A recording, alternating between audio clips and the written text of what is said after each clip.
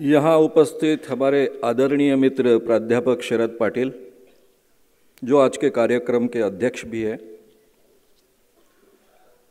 मेरे साथी हरीश जी देशमुख, सुरेश जी झुरमुरे प्रशांत जी सपाटे और पूरे विदर्भ से जो कार्यकर्ता यहाँ आए हैं, छाया सावरकर, पंकज वंजारे, सुनील वंजारी, सुधीर आंडे, भगवान खराथे, अरुण जी बनकर, तनुज चौबे संजय कटकमवार, श्रावण खुदरे, राजू वानखेडे, राजू नाईक, दत्ताभाऊ शिरसाट, शरद वानखेडे, हरिभाऊ पाथोडे, किशोर चोपडे, उत्तम सुळके, आशिष मोडक, अमृता अदावदे, सागर हिंगवे, स्वप्ना लांडे.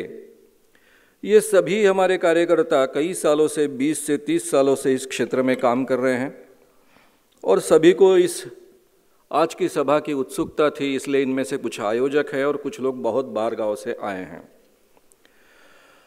मित्रों, हम जानते हैं कि आज के विषय हमारा है, अभा अनिस का तीस लाख का आह्वान स्वीकारे बिना। धीरेन्द्र महाराज नागपुर से क्यों भागे? आइए दिव्य शक्ति की पोल खोल सुनिए। धीरेन्द्र महाराज के दिव्य दरबार की पोल खोल मित्रों, ये केवल धीरेन्द्र महाराज के दरबार की पोल खोल नहीं है।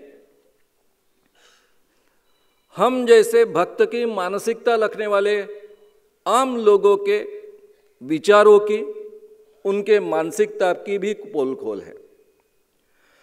शुरुआत में ही कहूँगा मैं यहाँ पर, मुझे बहुत आनंद होता अगर महाराज जी के भक्त बड़ी पैमाने पर यहाँ आते। लेकिन उन्होंने ज़ाहिर वीडियो के माध्यम से ये कहा है कि इस आदमी और इसकी सभी गतिविधियों पर बहिष्कार करे तो शायद बहुत कम भक्त यहाँ आए होंगे लेकिन ये प्रोग्राम लाइव हो रहा है। इसलिए सब लोगों तक ये प्रोग्राम शायद पहुँच पाएगा। और मुझे सबसे ज़्यादा ज़रूरी महसूस होता है कि धीरेन्द्र कृष्ण जी महाराज के जो भक्त हैं, ऐसा जिन लोगों को लगता है, उनके साथ में मैं संवाद स्थापित करूँ।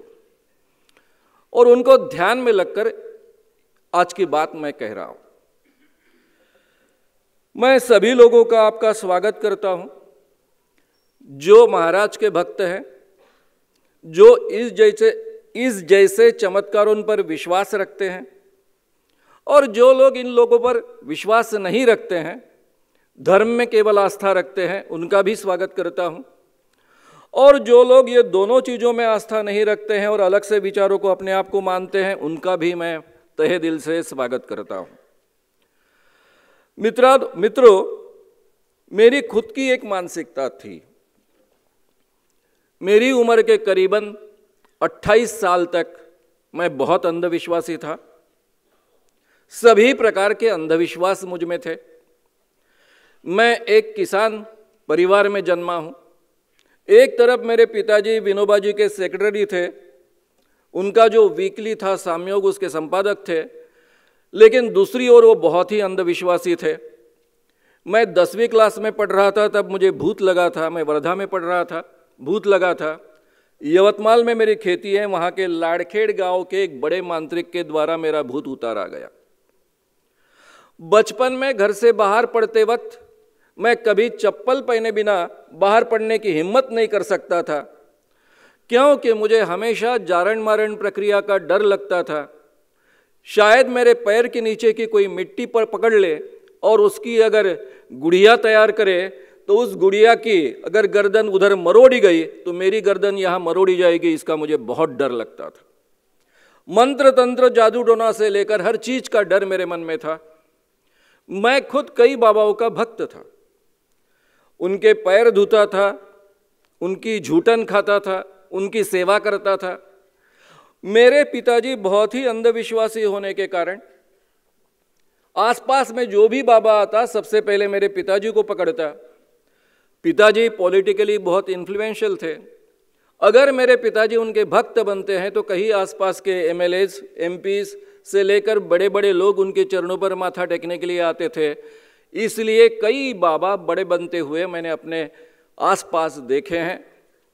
वे क्या करते हैं, ये बहुत नज़दीक से देखा है। लेकिन उन सब चीज़ों पर मेरी श्रद्धा थी। इसी वातावरण में पलते बढ़ते ज्योतिष पर मेरा बहुत विश्वास था। मेरे कॉलेज के जीवन में जब मैं विद्यापीठ परिसर में पढ़ रहा था, तब खुद ज्योतिष का छोटा मोटा व्यवसाय भी करता था, क्योंकि तब मेरी श्रद्धा थी कि ज्योतिष में कुछ तो भी तथ्य है। कहने का मतलब यह है कि सभी प्रकार के अंधविश्वासों का मैं भुगत चुका हूँ मेरे जीवन में और उसके परिणाम भुगतने वाला एक भक्त हूँ। इसलिए आम भक्त की जो मानसिकता होती है, वो मुझे बहुत अच्छे ढंग से समझती है। मैं कॉलेज में, तरुण भारत में हालाँकि मैंने पत्रकारिता शुरुआत की तब मैं पढ़ रहा था। इंदिरा गांधी जी ने इमरजेंसी लाई, तब पढ़ रहा था। उसके खिलाफ आंदोलन किया। जेल में गया, वर्धा के जेल में दस महीने रहा, बाद में छूटने के बाद में फिर पढ़ने के लिए यहाँ आया। तब तरुण भारत में मैं कॉलम लिख रहा था। एक तरफ़ बहुत ही प्रोग्रेसिव विचार में रखता था और दूसरी तरफ़ सभी प्रकार के अंधविश्वास मुझमें कायम थे। अंग्रेज़ी का अध्यापक बना, फिर भी मेरे अंधविश्वास कायम थे। जयप्रकाश नारायण के संगठन का, मैं विदर्भ का, बाद में महाराष्ट्र का चीफ बना, तरुण शांति सेना उसका नाम था। देश भर में घूमता था अलग अलग विषयों पर व्याख्यान देता था, मार्क्सवाद से लेकर गांधीवाद तक चर्चा करता था लेकिन मेरे अंधविश्वास कायम थे। जब मैं पूना में किर्लोस्कर प्रेस में नौकरी के लिए गया, तब मेरा ये बुद्धि प्रामाण्यवादी विचारों से रैशनल विचारों से परिचय हुआ। डॉक्टर अब्राहम कोर की दो किताबें, begone godman and gods demons and spirits, ये मैंने पढ़ी। तब तक मैं अपने आप को बहुत ही आध्यात्मिक व्यक्ति समझता था। मुझे आध्यात्मिक प्रगति करनी थी। सभी प्रकार की सिद्धियाँ प्राप्त करनी थी, मोक्ष प्राप्त करना था। और इसलिए आध्यात्मिक क्षेत्र के जो ऊँचे विचार होते हैं, उसका मुझे बहुत अच्छे ढंग से परिचय था। विनोबा जैसे बहुत ही ऊँची पहुँची हुई आध्यात्मिक व्यक्ति के आश्रम से मेरा लगातार संबंध रहा था।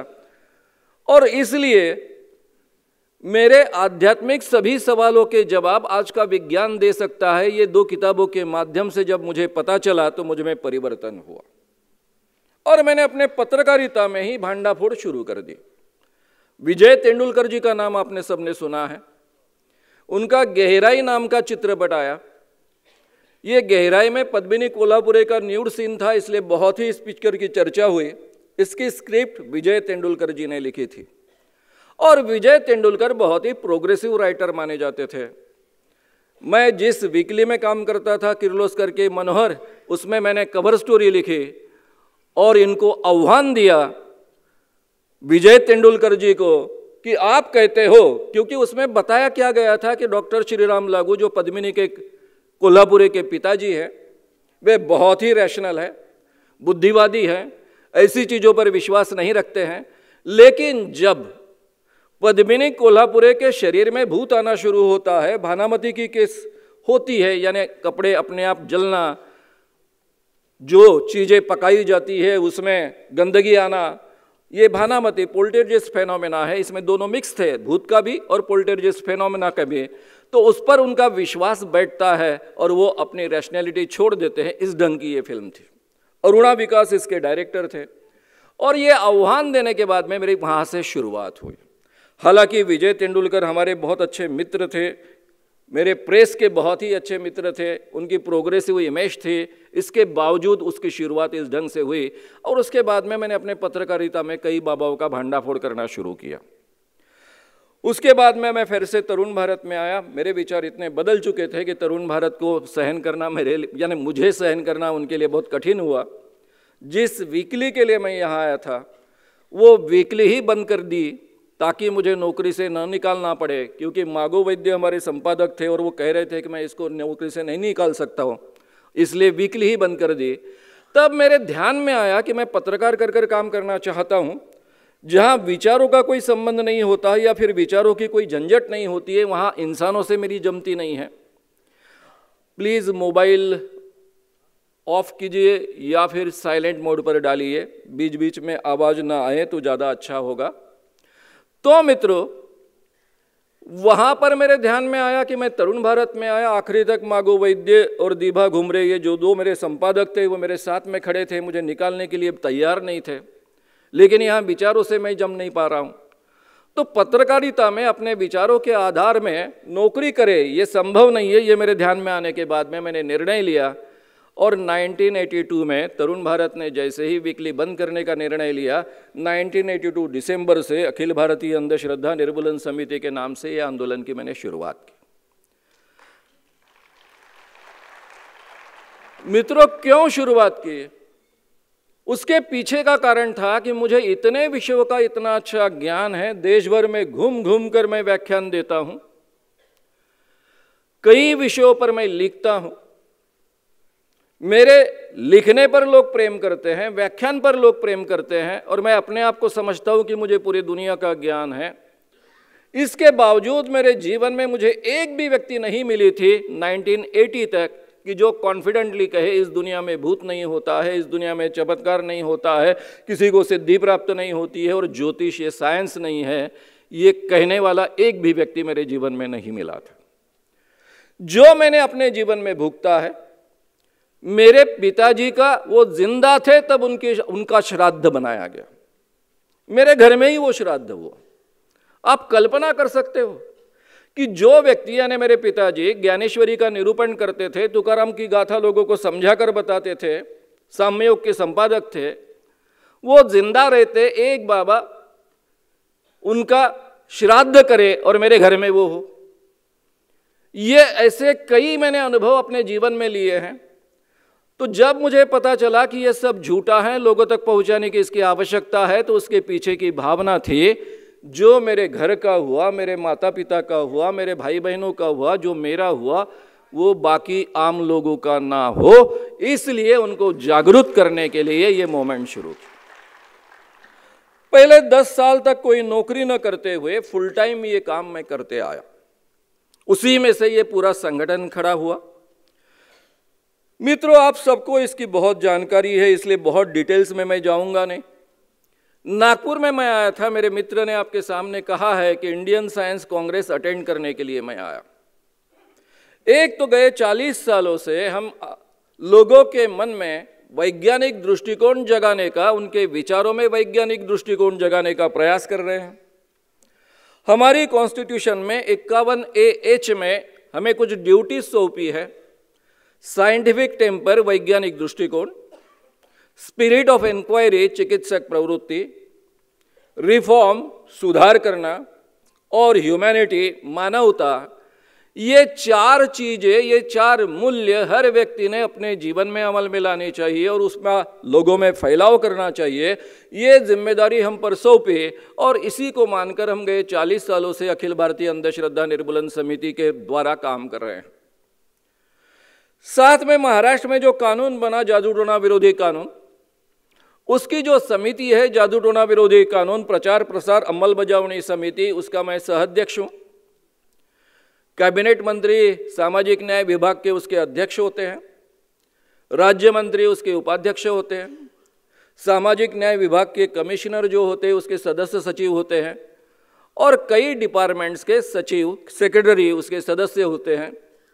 तो ये कमेटी का उद्देश्य भी रहा है कि साइंटिफिक टेम्पर लोगों में फैलाया जाए। यानी जादू टोना विरोधी कानून लोगों को समझाते समझाते, उसका प्रचार प्रसार करते, उसकी अमल बजावनी यानी इम्प्लीमेंटेशन करते करते लोगों में वैज्ञानिक दृष्टिकोण का प्रसार और प्रचार हो। तो मुझे लगा कि इंडियन साइंस कांग्रेस नागपुर में हो रही, अपने गाँव में हो रही। ठीक है, मैं गए 26-27 सालों से मुंबई में रहता हूँ। लेकिन मेरा गाँव है नागपुर तो कम से कम हमने ये अटेंड करनी चाहिए। इसलिए तीन से सात तारीख तक जो इंडियन साइंस कांग्रेस थी, उसमें केवल एक श्रोता कर कर आने के लिए मैं यहाँ आया। आते ही मुझे पता चला कि धीरेन्द्र कृष्ण जी महाराज, इनका गीता प्रवचन यहाँ आयोजन हो रहा है। पाँच से तेरह तारीख तक, पाँच से तेरह जनवरी तक। मेरी पहली प्रतिक्रिया थी अच्छी बात है। राम कथा का अगर आयोजन हो रहा है राम कथा प्रवचन हो रहा है तो उसका हमने स्वागत करना चाहिए। क्योंकि मेरे जीवन में जब मैं वर्धा में पढ़ रहा था, स्कूल में पढ़, कॉलेज में पढ़ रहा था, उन दिनों मैं बाल संस्कार केंद्र चलाता था और पंद्रह पंद्रह बीस बीस दिन राम कथा बच्चों को सुनाता था। तो मेरे लिए तो यह बहुत नज़दीक की बात है। मेरे खुद के आस्था की बात है। महात्मा गांधी जैसा व्यक्ति भी हमेशा कहता है, राम का नाम लेता है। और केवल इतना नहीं है तो वो अपने को बहुत अच्छा राज्य लाने के लिए उसका राम राज्य कर कर उल्लेख करता है।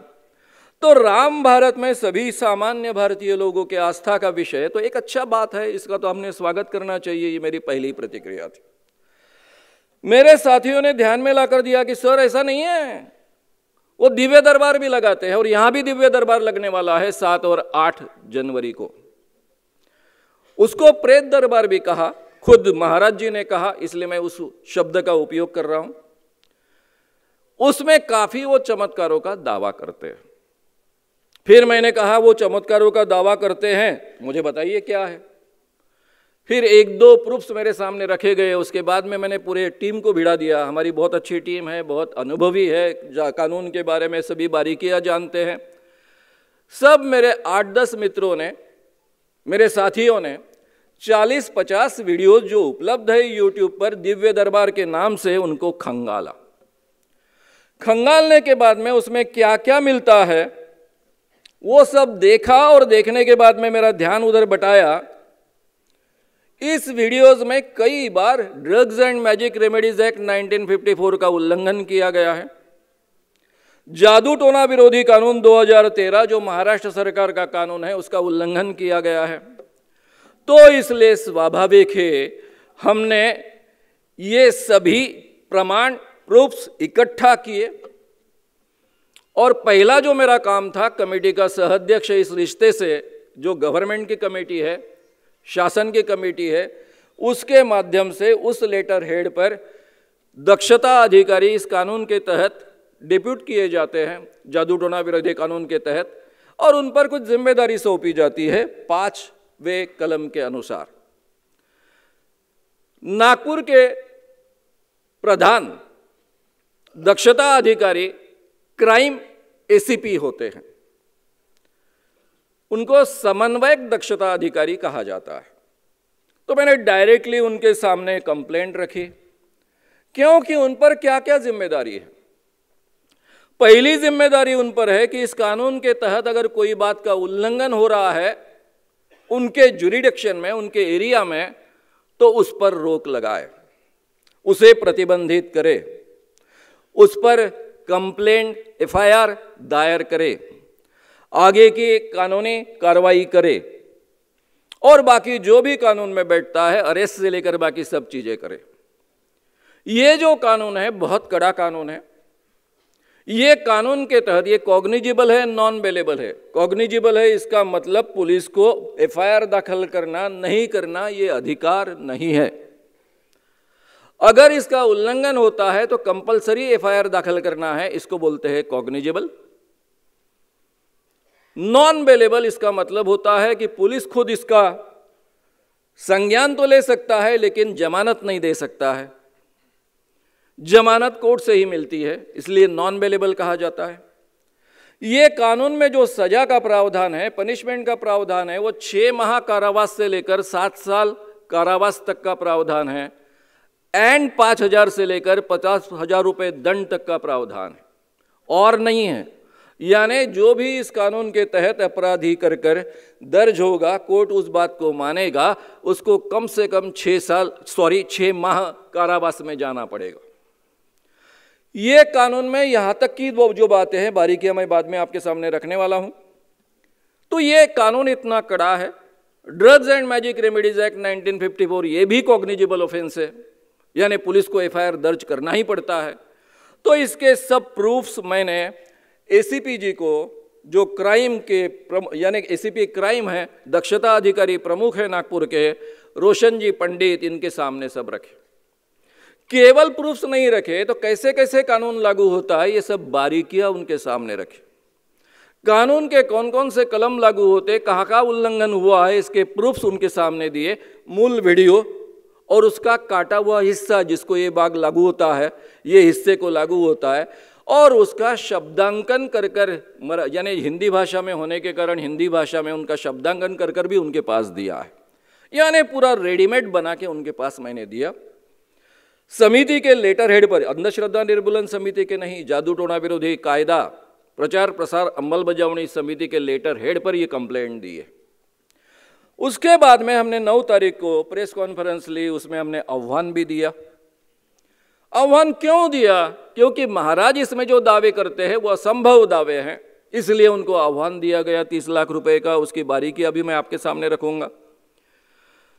तो मित्रों, इस ढंग से ये दो चीज़ें हमने की। दस तारीख को मैं खुद नागपुर शहर के पुलिस आयुक्त जी से मिला। उनको कानून के बारे में, उनके साथ में चर्चा की, सभी बारीकियाँ उनके ध्यान में ला कर दी, कैसे उल्लंघन हो रहा, उसके प्रूफ्स उनके सामने रखने की कोशिश की। मुझे लगा कि कहीं तो भी ज्यूरिडिक्शन का मुद्दा उनके दिमाग में है। जबकि इस कानून के तहत जो आपराधिक चीज़ें हैं, उसका प्रचार और प्रसार करना इट गुनाह माना गया है और स्वतंत्र गुनाह माना गया है। और उसको स्वतंत्र रीत्या इक्वल सजा का प्रावधान है। ये बात मैंने ध्यान में लाकर देने के बाद भी मुझे ऐसा लगा कि वो एक्शन लेने के लिए तैयार नहीं हो गए क्योंकि उनको कहीं तो भी लग रहा है कि ये बाहर के वीडियोज़ है, नागपुर में तो ऐसा हुआ नहीं सात आठ तारीख को दिव्य दरबार लगा था। वो वीडियोज़ हमारे हाथ में लगे, महाराज जी ने खुद ही प्रसारित किए हैं। उसमें भी इस कानून का उल्लंघन, दोनों कानून का उल्लंघन होता है, ये प्रूफ्स मैं दस तारीख को शाम को एसीपी क्राइम तक ले गया। रात भर रात को तीन बजे तक उन्होंने इस विषय का अभ्यास किया। दूसरे दिन भी अभ्यास किया। उसी दिन रात को महाराज जी, जबकि उनका प्रोग्राम तेरह तारीख तक प्रसिद्ध था, उसकी पत्रिका उपलब्ध है, जो मैंने सभी पत्रकारों को उपलब्ध कराई है। आप में से जिनको जिनको इंटरेस्ट होगा, वो वो हमारे प्रशांत सपाटी जैसे या फिर सुरेश दुर्मुरी जैसे जिनके नंबर आपके पत्रक पर हैं, उनसे संपर्क साध सकते हैं और आपको ये पत्रिका उपलब्ध कराई जाएगी कि जिसमें तेरह तारीख तक सब बातें वो यहाँ करने वाले थे। बारह तारीख को राम कथा प्रवचन था और तेरह तारीख तो तो पूजा और हवन और बाकी क्या क्या सब चीज़ें उसके साथ में थी। ये 11 तारीख को ही निकल जाने वाले हैं नागपुर से, ये इसकी जानकारी मैंने एसीपी क्राइम को दी। खुद पुलिस आयुक्त जी को दी। दूसरे दिन जब ये जाने, जा रहे थे, पत्रकारों के माध्यम से ये जानकारी मुझे मिल रही थी, वो भी जानकारी उन तक पहुंचाई। लेकिन महाराज जी दो दिन पहले अपना काम छोड़कर चले गए। जबकि उनके आयोजन के लिए बहुत बड़ा पेंडॉल से लेकर सब चीज़ें आती है, बड़ा खर्च होता है, इतना सब आयोजन छोड़कर वो चले गए। इसलिए अखिल भारतीय अंधश्रद्धा निर्मूलन समिति ने 12 तारीख को प्रेस कॉन्फ्रेंस लेकर कहा कि महाराज जी आह्वान के डर से और पुलिस कार्रवाई के डर से नागपुर छोड़कर भागे।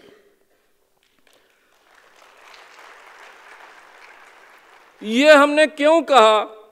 क्योंकि नागपुर शहर ये पोलखोल शहर है। सबसे बड़ी केस जो सबके ध्यान में आए और नागपुर में हमेशा आप लोगों का हमें साथ मिला है। जो धर्म पर आस्था रखते हैं, भगवान को मानते हैं, उन लोगों का भी हमेशा हमें साथ मिला है। और नागपुर के पत्रकारों का बहुत ही अच्छे ढंग से हमेशा साथ मिला है। शकुंतला देवी, जिनका नाम Guinness book of world records में रिकॉर्ड हुआ था, वो फास्टेस्ट गुणाकार करती है, ह्यूमन कंप्यूटर का, यानी उसको माना गया था। वो नागपुर में आई, उसने एडवर्टाइजमेंट शुरू की, God can tell correct fortune so can Shakuntala Devi. यानी भगवान जितना अचूक एक्यूरेट भविष्य बता सकते हैं, उतना शकुंतला देवी बता सकती है। हमने उनको चैलेंज किया। तब हमारा प्राइज एक लाख रुपए का था अखिल भारतीय अंधश्रद्धा निर्मूलन समिति का। शकुंतला देवी वो स्वीकारने वाली नहीं है, हमको पता था। इसलिए हमने उसका, वहाँ जो ठहरी थी राधिका होटल, उसके सामने निदर्शन करने के लिए 11 बजे पहुँचे। उसके पहले ये आह्वान सभी वृत्तपत्रों में, सभी पेपर्स में प्रकाशित हुआ था। और मैंने कहा था कि क्योंकि तीन दिन उसके आगे के बुक हो चुके थे, तीन मिनट का समय मिलता था, आपको अपनी जन्म तारीख कहनी है, जैसे ही एंट्री घेते हो, उसके आधार पर वो तीन सवालों के जवाब देती थी, तीन मिनट में आपको बाहर जाना है और उसके तीन सौ रुपये लगते थे। और इसका बुकिंग ऑलरेडी तीन दिन का हो चुका था। तो इसलिए मैंने लोगों को विनंती की कि ऑलरेडी आपने पैसे भरे हैं, आप पूछने ही वाले हो तो एक सवाल मेरा पूछिए। दो सवाल आपके पूछिए। मराठी पेपर्स ने ये सभी सवाल छाप दिए। सवाल कैसे थे कि भाई, अगर आपकी शादी नहीं हुई तो पूछिए मेरी शादी कब होगी। आपको बच्चे हैं तो पूछिए मेरा, मुझे बच्चे कब होगे।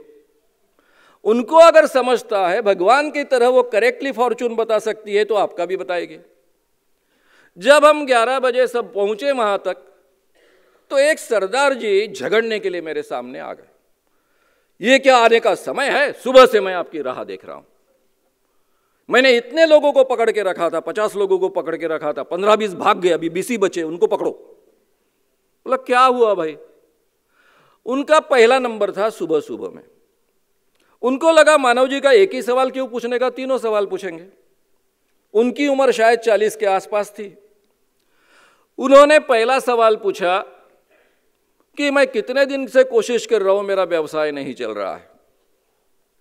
तो शकुंतला देवी ने उनकी जन्म तारीख तो देखी थी, उसके आधार पर कह दिया कि आपका व्यवसाय चलने की गुंजाइश बहुत कम है थोड़ा मोटा ऐसा ही चलने वाला है।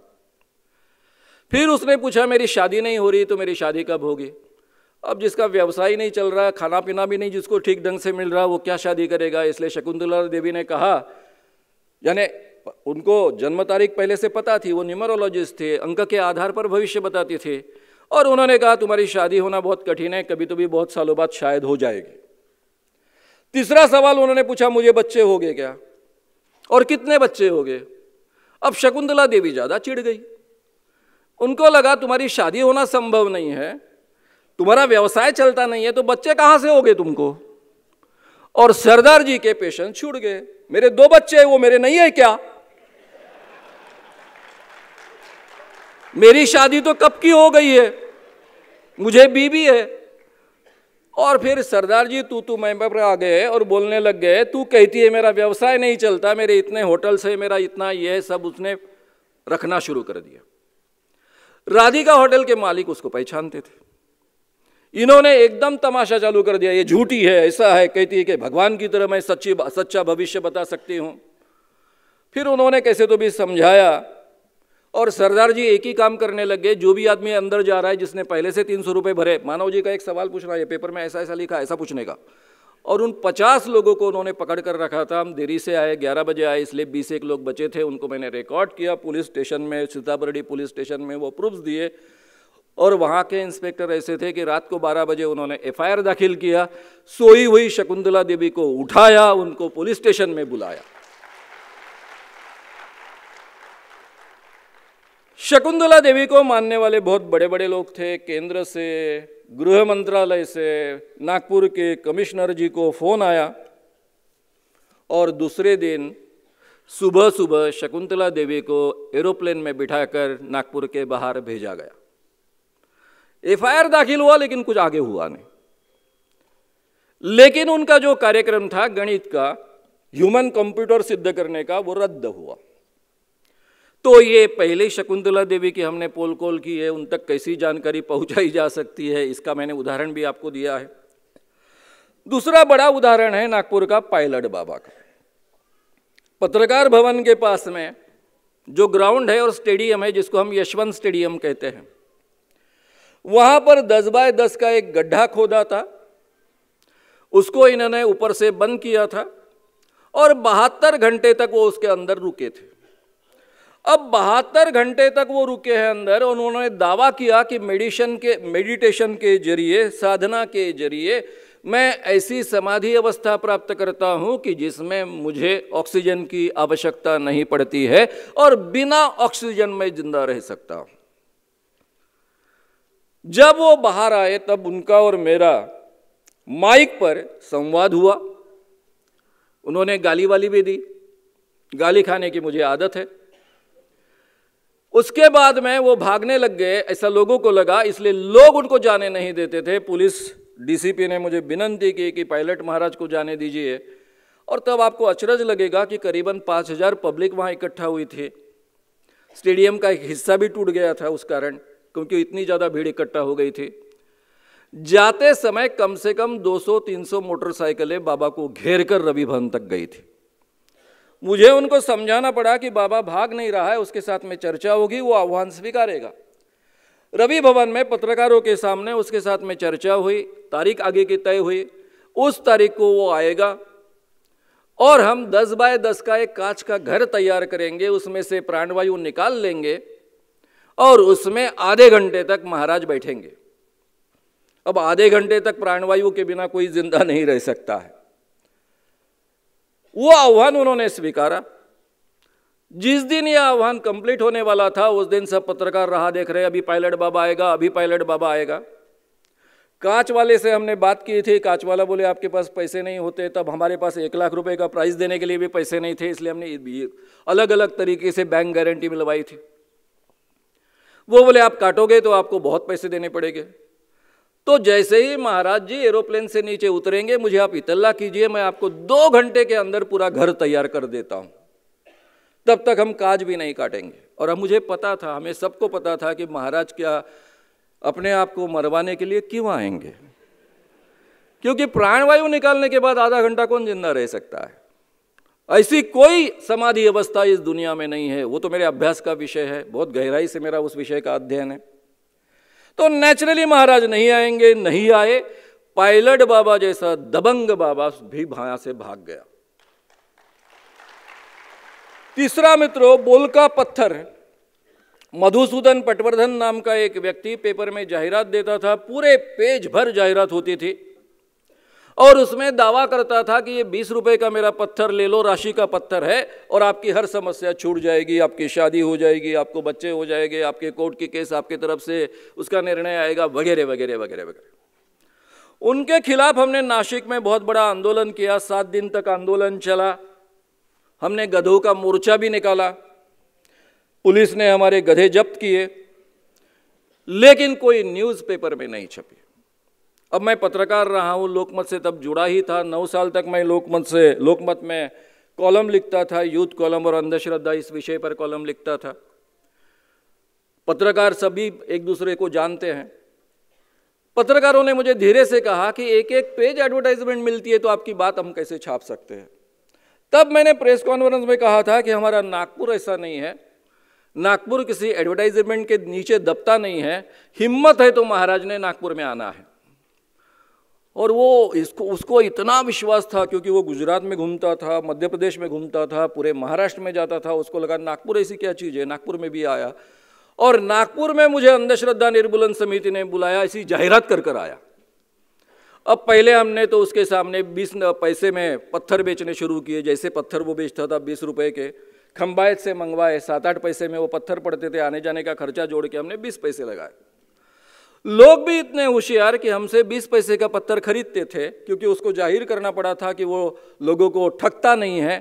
420 के कलम के अंतर्गत न आए, इसलिए उसने अपने जाहिरात में लिखा था कि अगर आप ये पत्थर वापस करना चाहे तो आपके बीस रुपए वापस मिलेंगे। तो लोग क्या करते थे? हमसे बीस नए पैसे का पत्थर खरीदते थे। उससे जो पत्थर लिया है, उसी रंग का।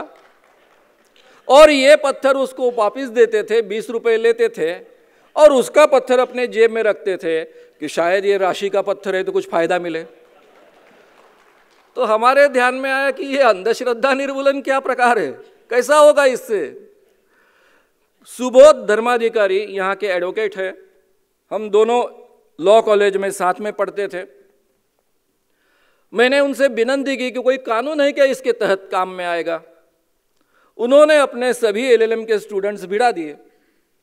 और ये एलएलएम के स्टूडेंट में एक देव नाम के स्टूडेंट थे जो आगे चलकर हाईकोर्ट के जज बने।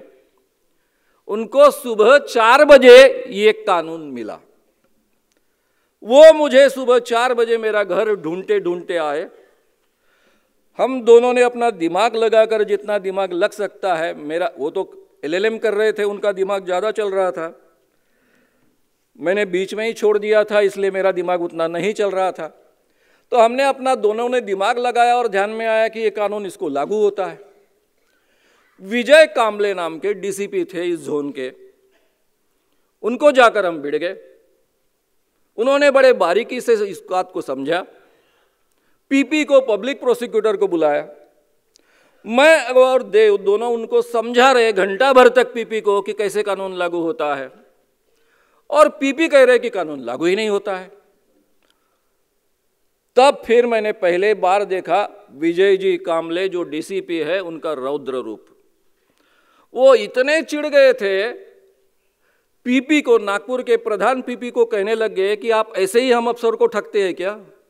अच्छा हो गया, मैं लॉ ग्रेजुएट हूँ। आप बाजू हट जाइए, मेरे पास अधिकार है, मैं सब कुछ कर लूँगा। और उन्होंने तय किया एफआईआर दाखिल करने का। हम रहा देख रहे ये एफआईआर नहीं दाखिल कर रहे, एफआईआर नहीं दाखिल कर रहे, क्या हो गया? वो कहते थे, शामराव, चुप रहो, मैं देखता हूँ क्या करना है। और उन्होंने बराबर शनिवार के शाम को पाँच बजे एफआईआर दाखिल कर कर उस आदमी को अरेस्ट की। हथकड़ियाँ लगाई। उसके पहले मुझे इतला दिया, मैंने पूरे प्रेस को वहाँ बुलाया और सारे प्रेस ने हथकड़ियाँ लगाई हुई उनकी फ़ोटो सारे पेपर्स में छाप दी। शनिवार पाँच को उनको अरेस्ट होने के कारण रविवार को छुट्टी थी, सोमवार तक उनको अंदर रहना पड़ा, पुलिस कस्टडी में रहना पड़ा। तब हमारे ध्यान में आया कि हमारे विजय कामले जी ने क्यों जल्दी काम नहीं किया। जब भी मुझे वो मिलते, बाद में मुंबई में कमिश्नर थे जब भी वो मिलते थे, मुझे हमेशा याद दिलाते थे कि क्यों, मैंने वो drugs and magic remedies act मैंने बोला, सर, आपके कारण ही वो मिला है, आपके कारण ही वो चालू हुआ है और उसके अंदर कई लोगों को हम आज तक जेल में भेज चुके हैं। महाराष्ट्र में जगह जगह पर चंगाई सभाएँ आयोजित होती है। क्रिश्चियन मिशनरीज इसको आयोजित करते हैं। अंधा देखने लगता है, बहरा सुनने लगता है, लंगड़ा चलने लगता है। और ये सब यीशु की कृपा से या फिर यीशु की प्रार्थना से होता है। हमारे यहाँ कस्तूरचंद पार्क में इस ढंग का एक आयोजन हुआ। तब मैं मुंबई शिफ्ट हो चुका था। हमारे उमेश बाबू चौबे, आज हम सभी को उनकी बहुत बार बार याद आती है। हमारे उमेश बाबू चौबे, हरीश जी देशमुख, इन ग्रुप ने वहाँ पहले आंदोलन किया। और जादू टोना विरोधी कानून 1954 जो है, sorry drugs and magic remedies act 1954 जो है, उसके तहत अपराध दर्ज करवाया और नागपुर में ये पाँचों मिशनरीज को अरेस्ट हुई। ये जो मिशनरी थे, उसमें एक भारत के थे, उनका नाम रायबोरडे था और बाकी के चार मिशनरीज फॉरेनर्स थे, उनके नाम भी याद रखना बड़ा मुश्किल है। वो कह रहे थे कि भाई मैं पूरे दुनिया में हम घूमते हैं, इस ढंग का कोई कानून हो सकता है कि जो हमें अरेस्ट कर सकता है? ये उनके लिए बहुत अचरज की बात थी। फिर साहब, उसके पहले की बात है, ये बात की बात है, लेकिन उसके पहले सुंदरदास महाराज यहाँ आए थे, जब मैं यहाँ पर था, नागपुर में था। ये सुंदरदास महाराज खास कर कर राम स्नेही पंथ के बाबा माने जाते हैं। कलकत्ता में उनका हेड ऑफ़िस होता है और उसके वो चीफ है। वो पहले अकोला में आए, अकोला में राम स्नेही पंथ बहुत अमीर लोगों का पंथ है, बहुत पढ़े लिखे लड़के इसमें होते हैं। उन्होंने कुछ विरोध करने का प्रयास किया, उनको भगा दिया गया। अमरावती के लड़कों ने उनको विरोध करने का प्रयास किया, उन पर बंदूकें तानी गई। वे लोग उनमें डॉक्टर मारू मेरे मित्र थे, वो लेकर सबको आए मेरे पास। तब मैं किसी दौरे पर जा रहा था, मैंने कहा, ठीक है, मैं दौरे से वापस आऊँगा, फिर देखते हैं पायलट बाबा को। ये सब इंजीनियरिंग और मेडिकल कॉलेज के लड़के चिढ़ गए, आपको क्या मज़ाक लग रही है कि बाबा के? आऊँगा और एक दिन में उनको सल्टा दूँगा।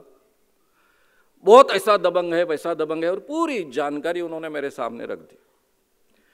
क्या जानकारी थी कि ये बाबा हर व्यक्ति को कहता था अपने प्रवचन में कि पुरुषों को प्राप्त करने के लिए, मोक्ष प्राप्त करने के लिए नौ मार्ग उपलब्ध होते हैं। लेकिन स्त्रियों को दस मार्ग उपलब्ध होते हैं। पुरुषों के सामने ये दसवां मार्ग वो कभी बताते नहीं थे। और स्त्रियों को कहते थे कि तुम अगर दीक्षा लोगी तो तुम्हें दसवां मार्ग प्राप्त होगा, तुम्हें दसवें मार्ग से मोक्ष प्राप्त होगा और केवल तुम्हें प्राप्त नहीं होगा, तुम्हारे पिता, पति को प्राप्त होगा, तुम्हारे पिता को प्राप्त होगा, तुम्हारे भाई को प्राप्त होगा, बहन को नहीं प्राप्त होगा, क्योंकि बहन भी उपलब्ध चाहिए।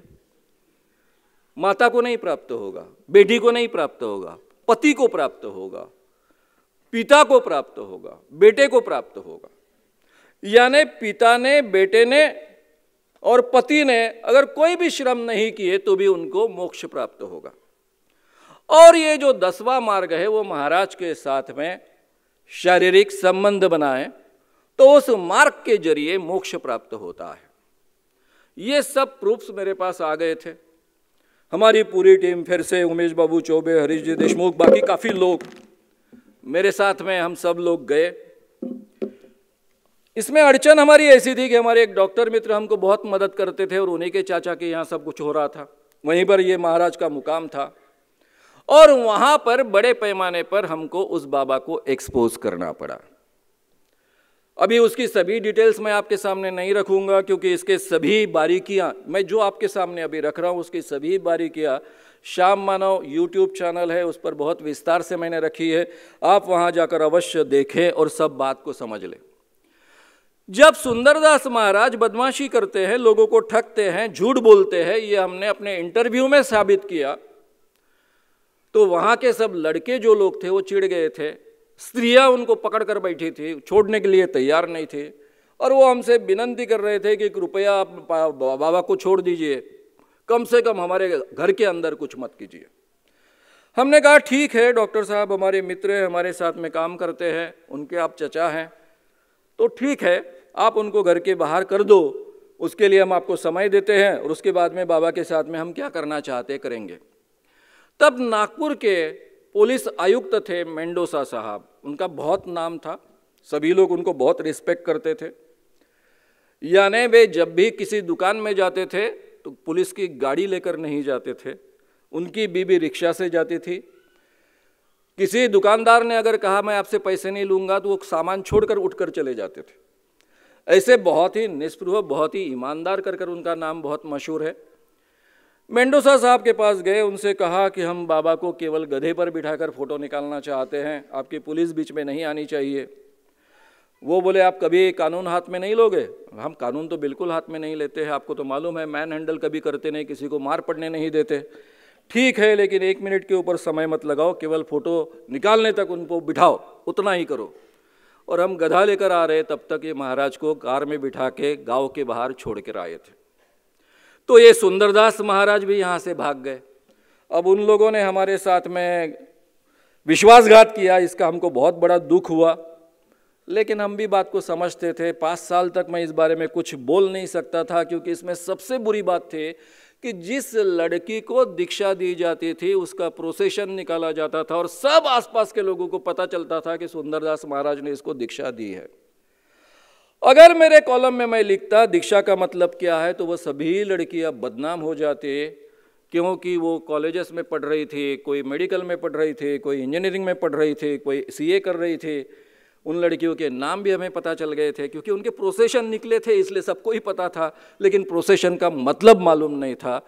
यानी बाबा के साथ में संबंध रखा, इसलिए दीक्षा प्राप्त हुई, और इसलिए उसका प्रोसेशन ताकि उसको प्रतिष्ठा मिले। उसको भी लगे कि मैंने बहुत पवित्र काम किया है, मुझे भी मोक्ष मिलेगा, मेरे पिताजी को भी मोक्ष मिलेगा, मेरे भाई को भी मोक्ष मिलेगा।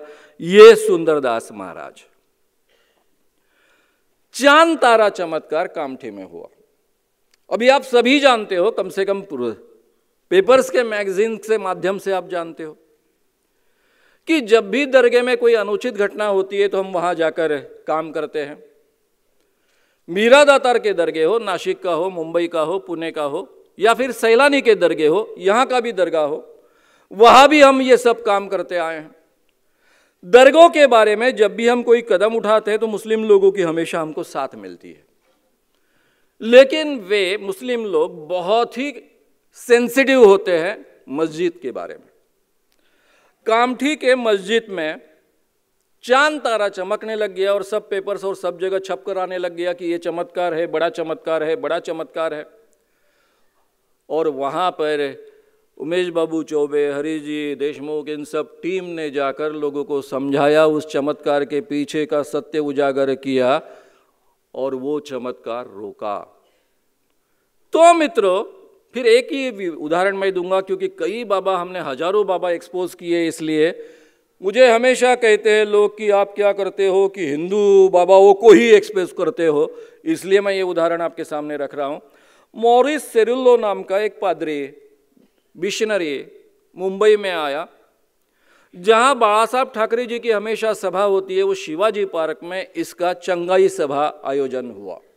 वही अंधा दिखता है, बहरा चलने लगता है, लंगड़ा लंगड़ा चलने लगता है, बहरा सुनने लगता है वाला। उसके खिलाफ हमने कंप्लेंट दायर की, पुलिस ने धीरे से मेरे कान में बता दिया कि, सर, मैं कुछ कर नहीं सकता हूँ। इंस्पेक्टर ने कहा, क्योंकि मुझे मंत्रालय से डायरेक्ट दबाव है। सीपी से मिला मुंबई। उन्होंने एडिशनल सीपी तक भेजा। वो भी कुछ सुनने के लिए तैयार नहीं थे। हमने हाईकोर्ट को मूव किया। हाईकोर्ट बंद होते समय में जरा मेरे एडवोकेट संघवी नाम के यंग थे।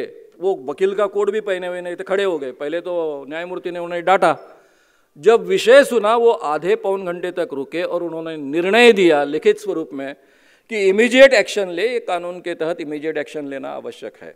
जादू टोना विरोध sorry drugs and magic remedies act के तहत। मैं वापिस आया, जो एडिशनल सीपी थे, वो मुस्लिम थे, आगे चलकर वो मुंबई के प्रधान सीपी बने थे।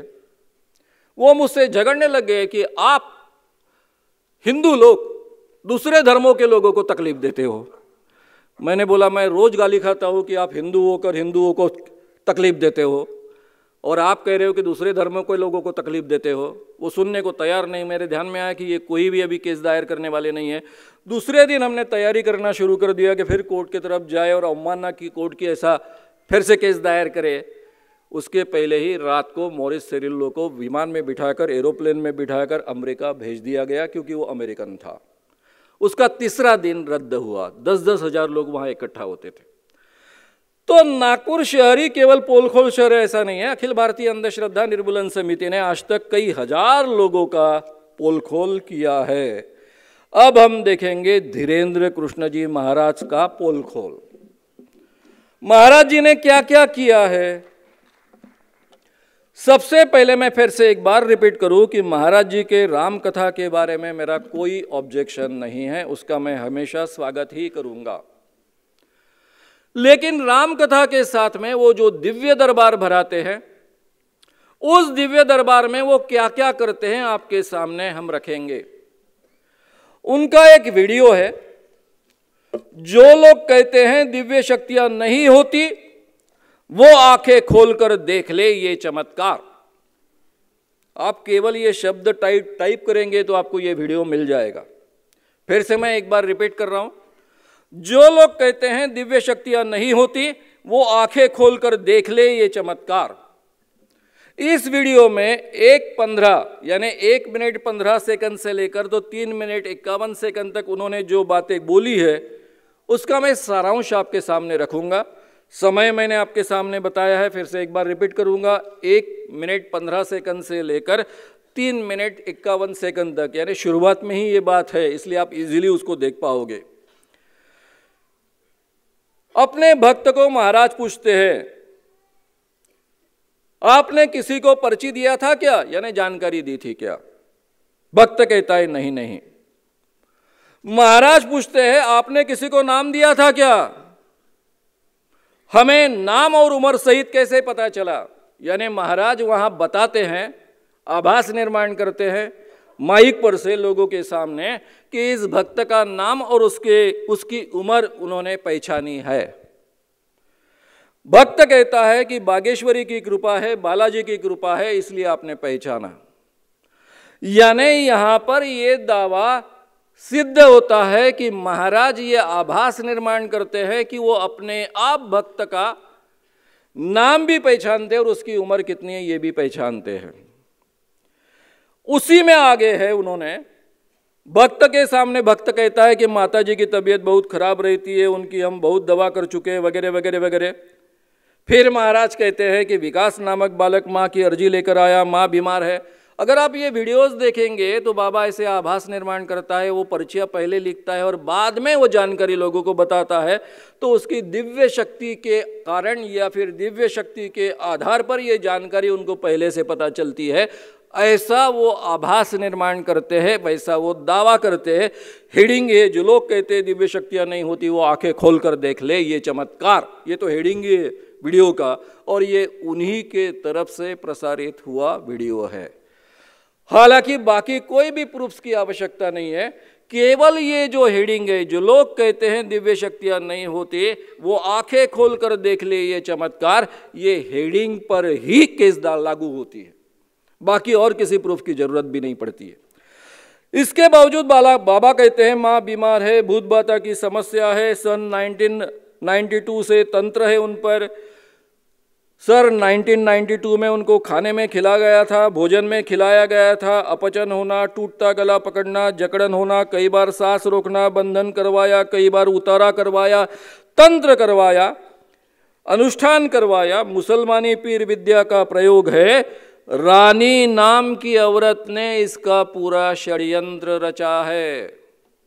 और वो ये भी कहते हैं कि रानी तुम्हारे नज़दीक की व्यक्ति, यानी रिश्तेदार है। अब मित्रों, ये व्यक्ति कहता है कि खिलाया गया, भोजन में खिलाया गया, टूटता, गला पकड़ता, जकड़न होता, कई बार सांस रोकता, बंधन करवाया, कई बार उतारा करवाया, तंत्र करवाया, मुसलमानी विद्या का प्रयोग है। ये दोनों कानून के तहत अपराध है। जादू टोना विरोधी कानून में अनुसूची में दूसरा हिस्सा जो है, कोई भी अगर चमत्कार का प्रयोग प्रदर्शित कर कर उससे पैसे प्राप्त करता है, आर्थिक प्राप्ति करता है तो वो कानूनन अपराध है। और महाराज के दिव्य दरबार में जो नागपुर में लोगों को अर्जी लगानी थी, उनको एक हज़ार रुपये बैंक में भरने थे, उसके अकाउंट्स भी हमने पत्रकारों को दिए हैं। हमारे एक कार्यकर्ता ने जो एक हज़ार रुपये भरे, उसकी पर्ची हमने पुलिस के सामने सादर की है। तो जादू टोना विरोधी कानून का ये दूसरा अनुसूची में का जो है हिस्सा, वो लागू होता है। ये जो मैंने आपके सामने कहा कि भूत लगाया, टोटका किया मंत्र तंत्र किया, मुसलमानी विद्या का प्रयोग किया और रानी नाम के औरत ने किया, ये इसी कानून के तहत, जादू टोना विरोधी कानून के तहत अनुसूची सिक्स के अनुसार गुनाह है। भूत लगाना मंत्र तंत्र करना, जादू टोना करना, अगर ऐसा कोई आरोप करता है तो वो भी कानूनन अपराध है। यहाँ तो व्यक्ति का नाम बताया जाता है कि रानी नाम के व्यक्ति ने ये किया है तो ये कानून डायरेक्टली लागू होता है। इतना ही नहीं तो इन्होंने ये भी कहा कि इसको जकड़न होता है, कई बार सांस रोकता है, टूटता गला पकड़ता है, जकड़न होना वगैरह वगैरह, अपचन होना। Drugs and magic remedies act 1954 के अनुसार जिसको डॉक्टर की डिग्री प्राप्त नहीं है, स्टेट या फिर केंद्र ने जो डिग्री दी नहीं है ऐसी डिग्री न प्राप्त होने वाले किसी भी व्यक्ति ने अगर किसी भी रोग के बारे में डायग्नोसिस करता है, यानी उसको पहचानता है, या फिर उसके ट्रीटमेंट करता है, या फिर उसको क्योर करने का दावा करता है तो ऐसा केवल बोलना कानूनन अपराध है।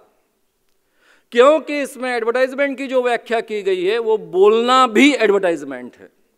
छपके आने की आवश्यकता नहीं है। और यहाँ तो वीडियो उपलब्ध है। वीडियो में ऑलरेडी वो बोल रहे हैं, महाराज के मुँह से ये सब निकल रहा है। इससे बड़ा प्रूफ क्या हो सकता है? इसलिए drugs and magic remedies act भी लागू होता है। जादू टोना विरोधी कानून भी लागू होता है। और जादू टोना विरोधी कानून के अनुसूची में का आठवां कलम भी लागू होता है। ये आठवें में कहा गया है कि कोई अगर दूसरी चीज़ों के आधार पर आपको शारीरिक बीमारी हुई, ऐसा कहता है यानी अतीन्द्रिय शक्ति के द्वारा, जादू टोना के द्वारा या किसी द्वारा आपकी शारीरिक बीमारी हुई ऐसा कहता है तो वो भी कानूनन अपराध तय किया गया है। तो एक ही व्यक्ति को, एक ही वीडियो के, एक ही हिस्से के लिए दो कानून लागू होते हैं और जादू टोना विरोधी कानून के तहत के तीन तीन प्रावधान लागू होते हैं, जबकि एक प्रावधान भी एफआईआर दर्ज करने के लिए और गुनाह साबित होने के लिए काफ़ी है। इस कानून में दूसरे कोई प्रूफ्स नहीं लगते हैं। केवल video recording is sufficient proof क्योंकि जादू टोना विरोधी कानून के तहत केवल प्रचार करना, प्रसार करना, ये भी कानूनन अपराध है। और ये घटना कहाँ घटती है, इसका कोई संबंध नहीं। स्वतंत्र प्रचार प्रसार करना कानूनन अपराध है। इसलिए महाराष्ट्र के दायरे में लोग ये वीडियो सुन रहे इसके आधार पर उन पर केस दायर होती है कंपलसरी होती है। मित्रों, ऐसे कई उदाहरण मैं अभी कितने उदाहरण दू। इसी में आखिरी में उन्होंने कहा है, यानी उसका समय, अगर आप ये पढ़ते जाएँगे तो ये पूरा किस्सा तीन इक्यावन तक है, उसी में है कि महाराज कहते हैं कि भक्त के घर के अलमारी में एक पुड़िया रखी है।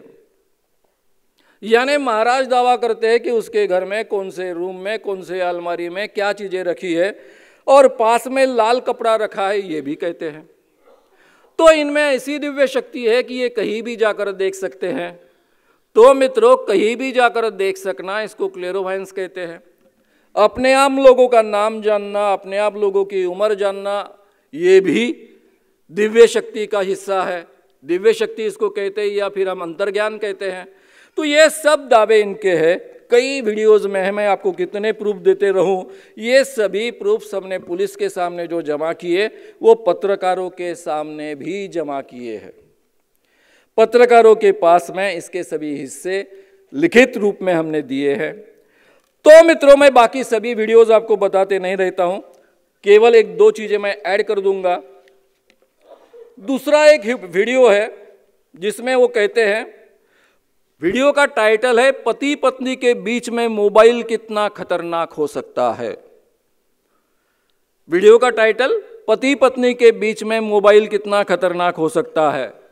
इस वीडियो में एक मिनट छह सेकंड से लेकर दो मिनट पैंतीस सेकंड तक वो कहते हैं, पत्नी आपकी विचित्र है, घमेंडी है, आपकी भी गलती है, मोबाइल के कारण क्लेश शुरू हुआ है, तुम भी कम नहीं हो, इलू इलू करते हो। महाराज कहते हैं अपने भक्त को कि तुम भी अपने पत्नी से कम नहीं हो, तुम भी इलू करते हो। यानी इसका मतलब पत्नी भी इलू इलू करती है और ये भी इलू करता है। दूसरों के साथ पति पत्नी के साथ, एक दूसरे के साथ में नहीं। अब ऐसा एक स्त्री के बारे में कहना, ज़ाहिर तरीके से कहना, ये माइक पर हो रहा है, रिकॉर्ड हो रहा है। और आगे चलकर वो कहते हैं, आगे चलकर वो कहते हैं गलती तुम्हारी है, मोबाइल के कारण क्लेश शुरू हुआ है, तुम भी कम नहीं हो इलू करते हो। आगे कहते हैं कि ये देखो, सुन लो भैया, जो पूछ सको वही पूछना। मारे भारे भाई भाई में सिग्नल है, मारे भाई भाई में सिग्नल है, उनका भाई यानी उनके हाथ में रखी हुई गदा। उनका दावा ऐसा है कि गदा के माध्यम से उनको सब पता चलता है और आगे वो धमकी देते हैं तुमने कौन कौन से होटल में कौन कौन से कांड किए सब हमको पता है। यानी अपने इलू इलू के साथ में ये भक्त कौन कौन से होटल में जाता था क्या क्या करता था, ये सभी महाराज को वो उनकी गदा बता देती है। ये यहाँ पर वो कहते हैं। और बाद में आखिरी में इसी वीडियो में कहते हैं, जो पाँच मिनट आठ सेकंड से लेकर पाँच मिनट बीस सेकंड तक है एक भी वह कमरे से बोलो, ज़ोर से बोलो, उनको माइक पर डिक्लेयर करने को लगाते हैं और महाराज कहते हैं, अब कट जाओ, नहीं तो हम तुम्हारे इलू इलू का मोबाइल नंबर भी बता देंगे। यानी महाराज को केवल भक्त को देखकर उनकी इलू इलू कौन है, ये भी समझता है। ये महोदय इलू इलू को लेकर कौन कौन से होटल में गए, ये भी समझता है। और इतना ही नहीं तो उनका मोबाइल नंबर क्या है, इलू इलू का, ये भी समझता है। कितने दिव्य दृष्टि रखने वाले हमारे महाराज हैं। ये सब दावे वीडियोस में भरे पड़े हैं। मैं सबकी सब आपके सामने रखकर आपका और मेरा समय बर्बाद करना नहीं चाहूँगा। आप इसको देखिए। फिर सवाल ऐसा आया कि जो यहाँ पर लगा नागपुर में, उसमें कुछ है कि नहीं? नागपुर में जो लगा दरबार, जिसको उन्होंने कहा है दिव्य दरबार और प्रेत दरबार, ये दोनों शब्दों का उन्होंने उल्लंघन, यानी शब्दों का प्रयोग किया है। ये वीडियो का हेडिंग है, बागेश्वर धाम सरकार का दिव्य दरबार जनवरी 2023 सुबह नौ बजे से। ये पूरा जो वीडियो है, तीन घंटे का है, दो मिनट सॉरी दो घंटे, अट्ठावन मिनट्स और अड़तीस सेकंड का वीडियो है। उसमें महाराज क्या क्या दावे करते हैं? भूत बाधा की सवारी आती है, उपद्रव किया है, गंदी तांत्रिक क्रिया है तबीयत ठीक नहीं रहती। तात्काल मृत्यु। अभी तक में पाँच मृत्यु हुई है पितृदोष के कारण। और यहाँ पर एक बहुत ही विनोद है जो साम, के सामने मैं रखूँगा। सबसे पहले महाराज भक्त उनके पास आने के बाद उसको पूछते हैं, तुम्हारे पिताजी का नाम क्या है? वो धीरे से कहता है, मेरे पिताजी का नाम, यानी शंकर लाल है। ये वीडियो में रिकॉर्डिंग है। फिर थोड़ी देर बाद एक दो मिनट इधर उधर होने के बाद मैं महाराज बोलते, तुम्हारे पिताजी का नाम शंकरलाल है, ज़ोर से माइक पर चिल्लाते तुम्हारे पिताजी का नाम शंकरलाल है। आगे चलकर वो बोलते हैं, माइक से बोलो, आपके पिता का नाम शंकरलाल है। नहीं तो तुम्हारे सब कांड खोल देंगे। उसने खुद पूछा, महाराज ने भक्त ने बताया, मेरे पिताजी का नाम शंकर लाल है। महाराज कहते हैं कि हमने पहचाना तुम्हारे पिताजी का नाम शंकर लाल है। माइक पर बोलो। नहीं तो तुम्हारे सब कांड खोल देंगे। अब बेचारा सही में श्रद्धा रखने वाला भक्त कितना डरा होगा। माइक में और क्या बोलेगा बेचारा? दूसरा कुछ बोलने की हिम्मत करेगा क्या?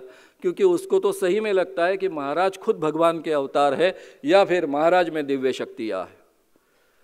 अब ऐसी चीज़ें करने वाला ये व्यक्ति अभी इसके बारे में मैं आपको क्या बोलूँ?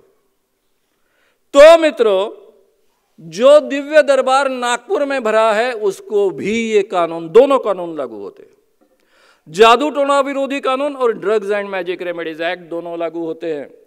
और ये कानून इतना व्यापक है कि जो इस ढंग की कृति करता है या फिर इस ढंग के प्रचार प्रसार करता है उसको जो जो साथ देता है मोटिवेशन देता है, ऐसे कामों का आयोजन करता है, वे सभी के सभी दोषी है और उनको इक्वल सजा का प्रावधान है।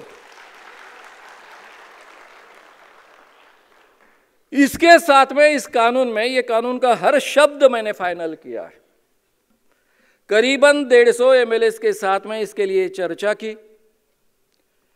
सभी पक्षों के प्रमुखों से इस बारे में चर्चा की। शिवसेना के प्रमुख उद्धव जी ठाकरे जी से दो बार इसके बारे में चर्चा हुई। सुभाष देसाई जी से भी चक्र चर्चा हुई। नितिन जी गडकरी जब अध्यक्ष थे यानी बीजेपी के, महाराष्ट्र के 2005 के दरमियान, तब उनके साथ में चर्चा हुई। उन्होंने मुझे, बहुत मुझे सहयोग किया मेरे साथ में। हम कॉलेज जीवन से अच्छे मित्र रहे हैं। विवेकानंद के दोनों फ़ैन रहे हैं। और नितिन गडकरी जी ने अशोक मोडक नाम के डॉक्टर अशोक मोडक एमएलए थे, उनको बीजेपी के ओर से इस कानून की बारीकियाँ देखने के लिए डेप्यूट किया था। और उनको गोपीनाथ मुंडे से लेकर सबने समर्थन दिया। ठीक है, जो मोडक जी कहेंगे वो हम बीजेपी को मान्य। और अशोक मोडक ने जो जो सुझाया, वो सभी के सभी सुझाव इस कानून में आए। उद्धव जी ठाकरे जी ने जो जो सुझाव दिए, वो सभी इस कानून में आए हैं। 2013 में जब उद्धव जी ठाकरे जी से मैं ढाई घंटे तक इस कानून के बारे में चर्चा करता रहा, तब मेरी अपेक्षा थी कि वो कहेंगे, इस कानून को मेरा समर्थन है, लेकिन उन्होंने बिल्कुल वो नहीं कहा। उन्होंने ढाई घंटा की चर्चा के बाद में, क्योंकि उनके पास बहुत कंप्लेंट जाती थी इस कानून के खिलाफ कि ये कानून धर्म विरोधी है, ऐसा है, वैसा है वैसा है इसलिए उन्होंने जो जो सुना था, उस हर बारे में मुझे बारीकी से वो पूछ रहे थे, इसलिए ढाई घंटे लग गए इस चर्चा को। उसके बाद वो बोले, ये कानून बहुत अच्छा बना है। केवल मुझे नहीं बोले, बाद में टीवी पर भी बोले, इसलिए सब लोगों ने आपने सुना होगा। मेरे आजोबा के विचारों का ये कानून है। ग्रैंडफादर के विचारों का ये कानून है। ग्रैंडफादर कौन? प्रबोधनकार ठाकरे बाला साहब ठाकरे जी के पिताजी। और इसलिए मैं इस कानून को लाने के लिए खुद प्रयास करूँगा। जिन जिन लोगों की इस कानून के बारे में गलत फहमियाँ हैं, उन उनके गलत फहमियाँ दूर करने का प्रयास करूँगा। अगर मैं समझा नहीं पाया तो आपको बुलाऊँगा। और एक मत से ये महाराष्ट्र में कानून पारित होना चाहिए, ऐसी अपेक्षा है। उद्धव जी ठाकरे जी ने जो कहा, बाद में उन्होंने नासिक में प्रेस कॉन्फ्रेंस में टीवी के सामने यही बात दोहराई। देवेंद्र जी से मेरा संबंध पहले से रहा है।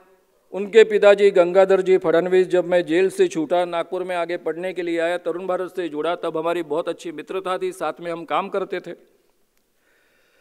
2005 से कानून के लिए जो मैं प्रयास कर रहा हूँ, तब बार बार उनसे मिला हूँ। 2013 में देवेंद्र फडणवीस जी भाजपा के बीजेपी के अध्यक्ष थे। बहुत अच्छे वकील है, कानून की बारीकियाँ उनको बहुत समझती है। 2005 में उन्होंने कहा था कि ये कानून के खिलाफ हाईकोर्ट और सुप्रीम कोर्ट में केस जाएगी। इसलिए कानून में एक भी चीज़ ऐसी नहीं होनी चाहिए जो घटना विरोधी होगी, कॉन्स्टिट्यूशन के खिलाफ होगी। और इसलिए वो बात जो उन्होंने मेरे दिमाग में डाली, वो मेरे दिमाग में बहुत अच्छे ढंग से बैठ गई। और मैंने सुप्रीम कोर्ट के न्यायमूर्ति पी बी सावंत इसके लिए इनकी मदद ली और हमने दोनों ने बैठकर ये कानून मराठी में फिर से लिखा। हालाँकि उनको मराठी में लिखने की आदत नहीं बची थी, सुप्रीम कोर्ट के न्यायमूर्ति रह चुके थे। लेकिन पहले तो उन्होंने मुझे कहा कि शाहू महाराज ने जो मराठी में कानून लिखे, उसका अभ्यास करो और लिखो। पहले इंग्लिश में लिखते हो, फिर मराठी में ऐसे भाषांतर करते हो कि लोगों को समझ में नहीं आता और केवल वकीलों के धंधे चलते हैं। ऐसा कानून मन बताओ, मराठी में पहले लिखो, उसका ट्रांसलेशन इंग्लिश में होगा। तो मैंने उनसे रिक्वेस्ट की कि अभी मैं कोल्हापुर के शाहू महाराज के कानून का अभ्यास करूँगा, फिर मैं लिखूँगा, इसमें बहुत समय जाएगा, समय कम है, अभी अधिवेशन है, उसमें पारित होने की आवश्यकता है। तब वे खुद बैठे दो दिन मेरे साथ में और हमने पूरा मराठी में ड्राफ्टिंग किया। तो इसलिए उसमें ऐसी एक भी बात न रहे जो कॉन्स्टिट्यूशन के खिलाफ हो, धर्म स्वतंत्रता के खिलाफ हो, धर्म प्रचार के खिलाफ हो, जो कॉन्स्टिट्यूशन के फंडामेंटल राइट में पच्चीस में आता है उसके खिलाफ हो, ये केयर लेकर ये कानून को बनाया गया है। देवेंद्र ऋषि बात करते हुए बहुत विस्तार से इसकी चर्चा हुई। चर्चा होने के बाद में देवेंद्र जी को मैंने एक ही बात कही कि जब आप इस कानून के खिलाफ बोलते हो, क्योंकि ऑलरेडी बुद्ध टीवी पर नागपुर में वो बोल चुके थे, तब लोगों को बहुत अटपटा लगता है और उनको धक्का पहुँचता है कि आप जैसा पढ़ा लिखा सुलझा हुआ व्यक्ति अंधविश्वास का कैसे समर्थन करता है? एकदम से उन्होंने खिलखिल कर हंस दिए। और मेरे ध्यान में आएगा कि अभी, आया था कि अभी ये समर्थन देंगे। फिर उन्होंने अपने साथियों के साथ में कुछ मिनटों तक चर्चा की और ज़ाहिर किया कि इस कानून का हम समर्थन करते हैं। आरपीआई के तीनों गुट, रामदास जी आठोले तो हमेशा मेरे साथ काम करते आए हैं। प्रकाश जी आम्बेडकर जी ने भी इस कानून का समर्थन किया, हमेशा मेरे काम के साथ में जुड़े रहे, समर्थन करते रहे। जोगेंद्र जी कवाड़ी तो बहुत अच्छे मित्र है, तीनों आरपीआई के गुट ने इस कानून का समर्थन किया। पहले 2005 के दरमियान मनसे के कुछ एमएलए थे, इसलिए राज ठाकरे जी से भी मुलाकात हुई थी। राज ठाकरे जी ने भी इसका समर्थन किया, तब भी उन्होंने वही वाक्य का उपयोग किया, मेरे आजूबा के, यानी प्रबोधनकार ठाकरे, उनके भी आजूबा है ग्रैंडफादर है, उनके विचारों का ये कानून है। मित्रों, महाराष्ट्र में 2013 के दिसंबर में ये कानून सम्मत हुआ सभी पक्षों के, सभी पार्टियों के सहमति से। किसी एक का भी इसको विरोध नहीं था।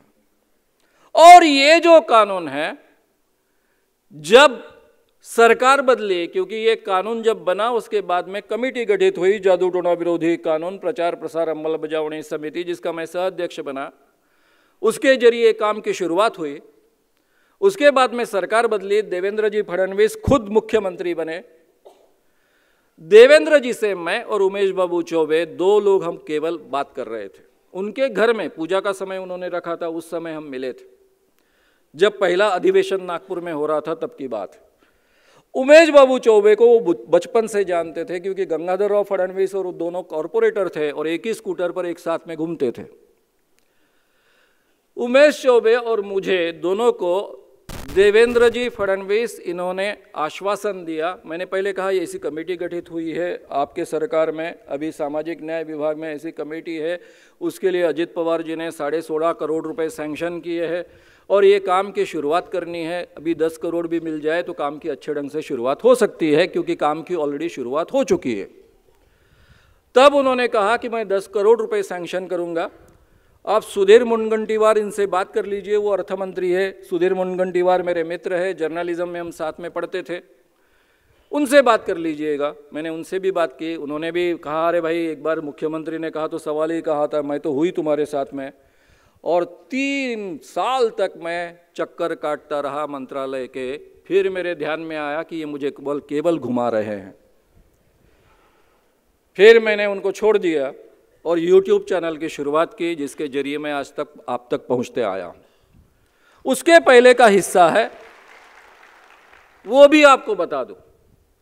जब मैंने उद्धव जी ठाकरे और देवेंद्र जी फडणवीस जी से बात की थी, तब दोनों ने मुझे एक ही सवाल पूछा था। जो इंटरप्रिटेशन आप इस कानून का हमको कह रहे हो, वो पुलिस अमल में लाएगी, इसकी क्या गारंटी है? तब मैंने दोनों को आश्वासन दिया था कि पुलिस, खास कर कर दक्षता अधिकारी और बड़े अधिकारियों का ट्रेनिंग मैं खुद करूँगा। और इसलिए इसी इंटरप्रिटेशन के तहत ये कानून अमल में लाया जाएगा, इसका मिसयूज नहीं होगा। और फिर देवेंद्र जी फडणवीस मुख्यमंत्री बने गृह मंत्री बने और उन्होंने एक काम बहुत अच्छे ढंग से किया। पुलिस ट्रेनिंग बहुत अच्छे ढंग से करवा ली पूरे महाराष्ट्र में 40 पुलिस ट्रेनिंग मैंने किए, सात घंटे पुलिस ट्रेनिंग चलता था, सभी बड़े अधिकारी उसके लिए उपस्थित रहते थे। आखिरी में पुलिस अधिकारियों से मैं पेपर छुड़वा लेता था इस कानून के बारे में। सब हँसते थे कि इतने साल हमको हो गए, इंस्पेक्टर रहते थे, उनके ऊपर के अधिकारी रहते थे, इतने सालों से हम अधिकारी हो, पेपर छुड़ाने को कह रहे हो। लेकिन पेपर छुड़ाते समय मैं उनको छूट देता था कि आप चर्चा कर कर छुड़ा सकते हो। और फिर चर्चा करते उनके ध्यान में आता था कि इसकी बारीकियाँ पकड़ना कितना कठिन है। और आखिरी में मुझमें कहते थे कि अपने पूरे प्रोग्राम में ये पेपर छुड़ाने के कारण हमारे सभी आइडियाज़ पूरी तरह से क्लियर हुए।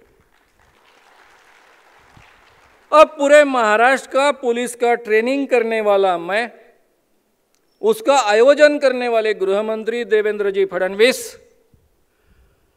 और ये धीरेन्द्र कृष्ण जी महाराज, जिनको ये कानून पूरी तरह से लागू होता। है मैंने ये लिखित फॉर्म में उनके सामने सब दिया पुलिस के सामने।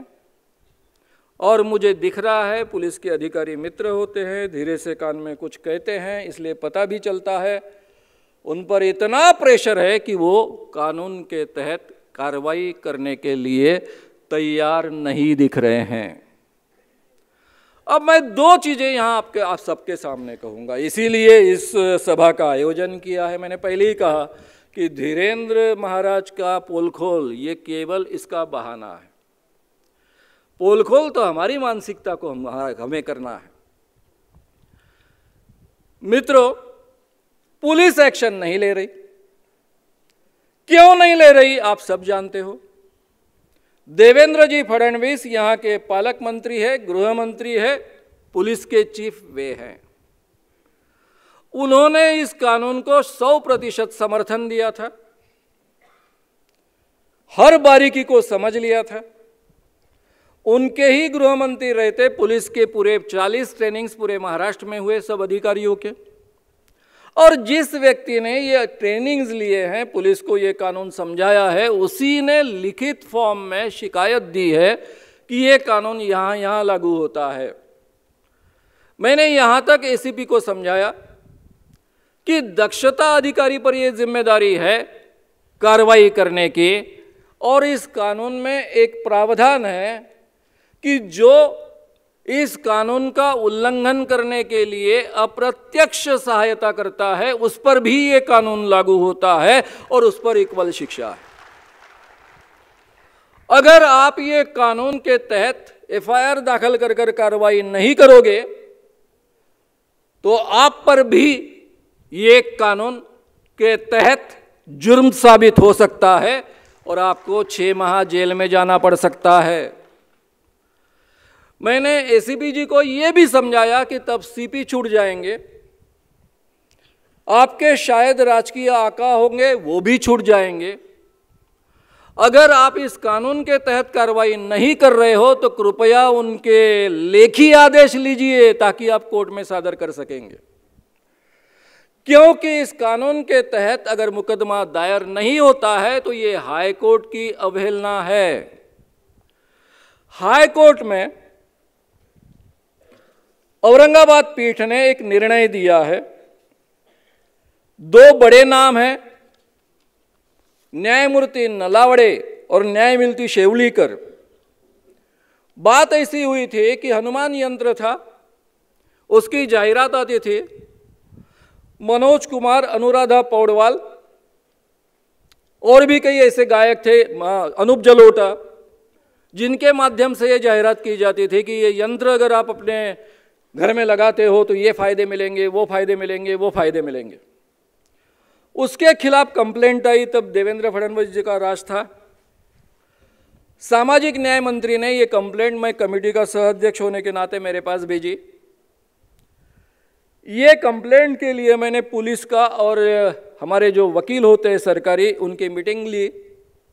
और मीटिंग में उनको समझाया कि ये कानून कैसे कैसे लागू होता है। यहाँ दोनों कानून लागू होते हैं। Drugs and magic remedies act भी लागू होता है और जादू टोना विरोधी कानून भी लागू होता है। यह सुनने के बाद भी हमारे पुलिस ने कोई एक्शन नहीं ली। केस हाईकोर्ट में गई, औरंगाबाद हाईकोर्ट का निर्णय आया, वो निर्णय भी मैंने एसीपी को सीपी को अटैच कर कर दिया है। ये निर्णय में टीवी नलावड़े और एमजी शेवलीकर ये न्यायमूर्ति कहते हैं, तुरंत सरकार ने इसके ऊपर केस दायर करनी चाहिए, एक्शन लेनी चाहिए, केवल इतना आदेश नहीं देते, पुलिस को बहुत लताड़ते हैं, सरकार को भी लताड़ते और आगे कहते हैं, ये कानून का दायरा उन्होंने बढ़ा दिया। उनके शब्द मैं आपको सुनाता हूँ। हनुमान या अन्य किसी भी बाबा या भगवान के नाम से विशेष जादुई और अलौकिक बातों से इंसान को आनंदी बनेगा, व्यवसाय में बढ़ोतरी होगी, प्रमोशन होगा, पढ़ाई में सुधार होगा, बीमारी ठीक होगी, ऐसा कहना, जताना भी कानूनन अपराध है। जादू टोना विरोधी कानून के तीन कलम के अनुसार ये अपराध है।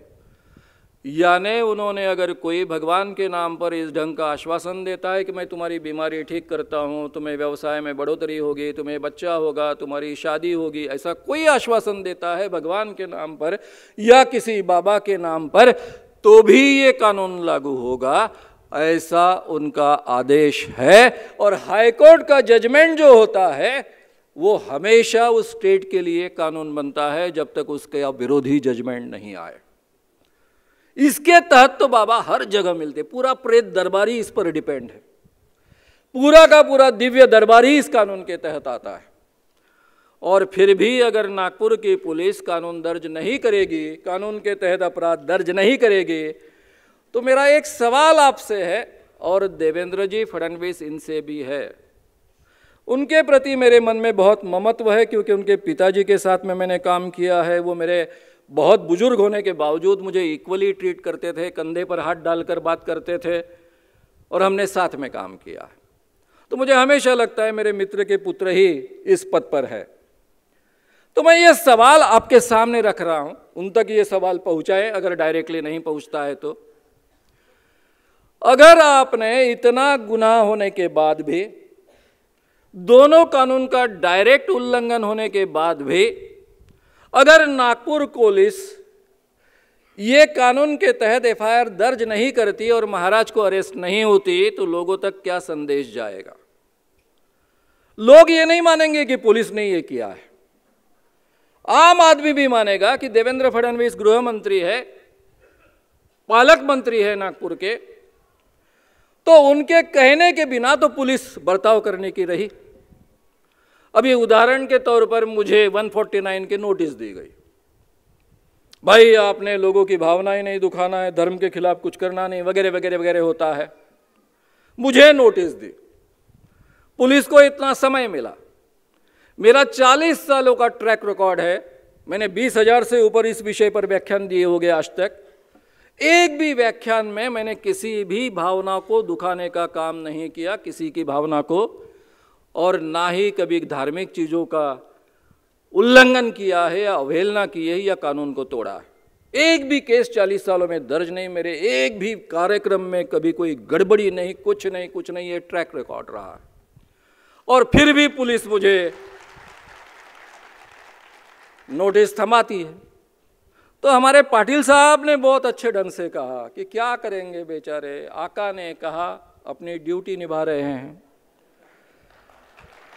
अगर इस एरिया की पुलिस अपनी ड्यूटी निभाने के लिए मुझे नोटिस भेज रही है तो धीरेन्द्र कृष्ण महाराज के खिलाफ एफआईआर न दर्ज होना, ये भी आका की इच्छा है।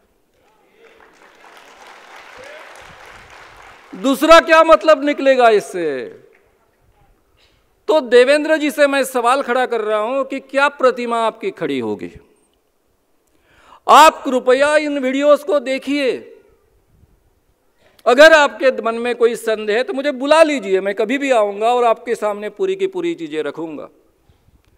यह आदमी लोगों को ठगता है, ज़ाहिर तरीके से ठगता है, ओपनली ठगता है, लोगों के अंधविश्वासों का फ़ायदा उठाता है। हर बीमारी के पीछे जादू टोना है, टोटका है, किसी ने कुछ किया है, मुस्लिम विद्या ने लगाया है, ऐसा कहता है। किसी घर के व्यक्ति के ही व्यक्ति ने जादू टोना किया ऐसा कहता है। घर घर में झगड़े लगाता है। स्त्रियों का ज़ाहिर तरीके से अपमान करता है, इलुलू करती है, इलुलू करता है, वगैरह वगैरह कौन कौन से होटल में ले जाता है।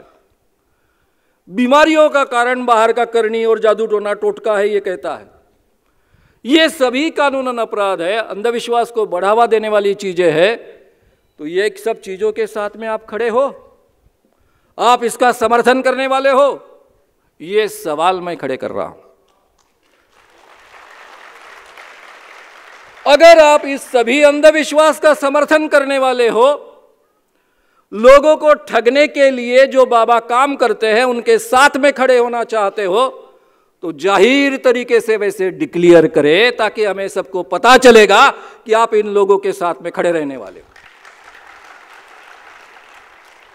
एक तरफ़ आप इस कानून के साथ में खड़े होते हो, इस कानून को पारित करवाते हो, आप खुद अभी अधिकारी हो, गृह डिपार्टमेंट के प्रमुख हो, और आपके अधिकारी इस पर कोई अमल नहीं ला रहे हैं, कोई कार्रवाई नहीं कर रहे हैं। कानून में ये चीज़ें मैंडेटरी है, पुलिस के हाथ में नहीं है, करना है, नहीं करना है। मैंडेटरी है, इसके बावजूद वो कोई कदम नहीं उठा रहे हैं। तो इसका मतलब लोग ये मानेंगे कि आपके कहने के अलावा ये संभव नहीं है और आप हिंदू लोगों को, क्योंकि बाबा के भक्त कौन है? हिंदू ही है। आप हिंदू लोगों को ठगने वाले बाबा का समर्थन करने वाले व्यक्ति हो। मुझे लगता है ये प्रतिमा आपको बिल्कुल अच्छी नहीं लगेगी और मुझे तो बिल्कुल अच्छी नहीं लगेगी, क्योंकि मैंने गंगाधर फडणवीस जी को बहुत अलग ढंग से देखा है। उनके साथ में इमरजेंसी के बाद में काम किया। है मैं उनको कभी भी एक बहुत ही अच्छा व्यक्ति मानता हूँ, उनके आप पुत्र हो। तो थोड़ा इस बारे में आप सोचिए कि आपकी प्रतिमा आपको क्या करवा लेनी है। यही वाक्य मैंने कानून का समर्थन प्राप्त करते समय उनको सुनाया था। मैंने उनसे कहा था कि जब आपने बुद्ध टीवी पर इस कानून के खिलाफ बात की तो लोगों को यह सहन नहीं हो पा रहा कि आपके जैसा पढ़ा लिखा और इतना सुलझा हुआ व्यक्ति इस कानून के खिलाफ बात कर रहा है। लोग पचा नहीं पा रहे। और तब उन्होंने हंस दिया था और इस कानून का समर्थन बाद में दिया था। वही बात आज मैं दोहरा रहा हूँ। केवल आपको आगाह कर रहा हूँ। आप पर कोई आरोप करने की मेरी इच्छा नहीं है। और जब मुझे आरोप करने होते तो खुलेआम करता हूँ चौक चौक में करता हूँ, हर सभा में करता हूँ, डरता नहीं हूँ। आप सभी को बहुत अच्छे ढंग से मालूम है। तो अभी तक मुझे कोई आरोप करने की इच्छा नहीं है। मैं केवल आपके अच्छाई को, आपके अच्छे मन को, आपकी अच्छी भावना का आवाहन कर रहा हूँ। उस भावनाओं का आवाहन कर रहा हूँ। लोगों को ठगी से बजाइए बचाइए, यह हमारा कर्तव्य है, आपका भी है और हमारा भी। नागपुर से मैंने इस काम की शुरुआत की। जब मैंने इस काम की शुरुआत थी, मेरे बारे में काफ़ी कंप्लेंट्स आरएसएस के पास जाती थी। बाड़ा साहब देवरस जी के पास काफ़ी कंप्लेंट्स गई। मुझे खुद तरुण भारत के संपादक दीबा घुमरे जी, इन्होंने ये किस्सा सुनाया है। बाड़ा साहब देवरस जी ने बुला लिया। दीबा घुमरे जो तरुण भारत के संपादक थे, उनको उनको कहा कि तुम्हारे हाथ के नीचे काम करने वाला ये श्याम मानव पत्रकार, ये क्या कर रहा है? हिंदू धर्म के खिलाफ काम कर रहा है। तब घुमरे जी ने बाड़ा साहब देवरस जी को बताया कि मैं उसके शिविरों में जाता हूँ, वो मुझे बुलाता है, उसके कार्यक्रमों में जाता हूँ। वो कभी भी धर्म की किसी बात पर टिका नहीं करता है, ना ही भगवान के खिलाफ बात करता है। वो हमेशा भगवान और धर्म के नाम पर जो ठगी होती है, उसका शोषण होता है, उसके खिलाफ काम करता है। बाड़ा साहब देवरस जी ने प्रतिक्रिया व्यक्त की. प्रतिक्रिया बहुत महत्व की है. उन्होंने कहा कि हमारे घर में हमें कहाँ सांप चाहिए? हम अपने घर का सांप नहीं मार सकते. अगर मेहमान के लाठी से वो सांप मरता है तो बहुत अच्छी बात है. इसलिए साहब, आप देखेंगे कि मैं इतने सालों से काम कर रहा हूँ, इतने बाबाओं का हमने भांडाफोड़ किया है एक्सपोज किया है, उनको भगाया है, लेकिन कभी भी ऑर्गेनाइज तरीके से आरएसएस ने हमारा विरोध नहीं किया, क्योंकि उनके मन में ये विचार है कि ये अंधविश्वास हमारे भी जीवन में, हमारे भी लोगों में हमें नहीं चाहिए। अगर मेहमान, वो मुझे अपना नहीं मानते, मेहमान मानते हैं, मेहमान के काठी से अगर सांप मरता है तो अच्छी बात है। ये भी मैं ज़ाहिर तरीके से आपके सामने सुना रहा हूँ। अब मित्रों, ये सब बातें मैंने आपके सामने सुनाने के बाद में हम आह्वान की तरफ़ आएँगे। इस बाबा को हमने जो आह्वान दिया, वो हमने काल्पनिक आह्वान नहीं दिया। बाबा ने अपने वीडियोज़ में जो दावे किए हैं कि मैं लोगों का नाम पहचान सकता हूँ, लोगों के पिताजी का नाम पहचान सकता हूँ उनकी उम्र पहचान सकता हूँ। इतना ही नहीं तो उनके मोबाइल नंबर इलू का मोबाइल नंबर उन्होंने जान लिया था इलू इलू का। तो मोबाइल नंबर भी जान सकते हैं ये उनके दावे और ये दिव्य शक्ति से जा, जानते हैं क्योंकि वो तो हेडिंगे मैंने आपको दो बार सुना दिया है। देखिए दिव्य शक्तियाँ चमत्कार वगैरह वगैरह जो भी है। साथ में उनका दावा है कि वो अपने भक्त के घर के कौन से रूम में, कौन से अलमारी में क्या चीज़ रखी है, ये पहचानते हैं। ये दोनों दिव्य दृष्टि है।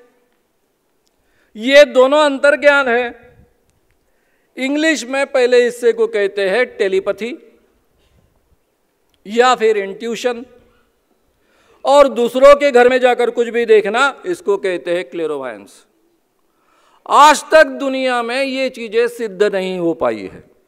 सभी धर्मों ने ये माना है कि ये चीज़ें होती है, संभव होता है क्रिश्चियनिटी भी मानती है। लेकिन आज तक पूरे दुनिया में ये कभी सिद्ध नहीं हो पाया है।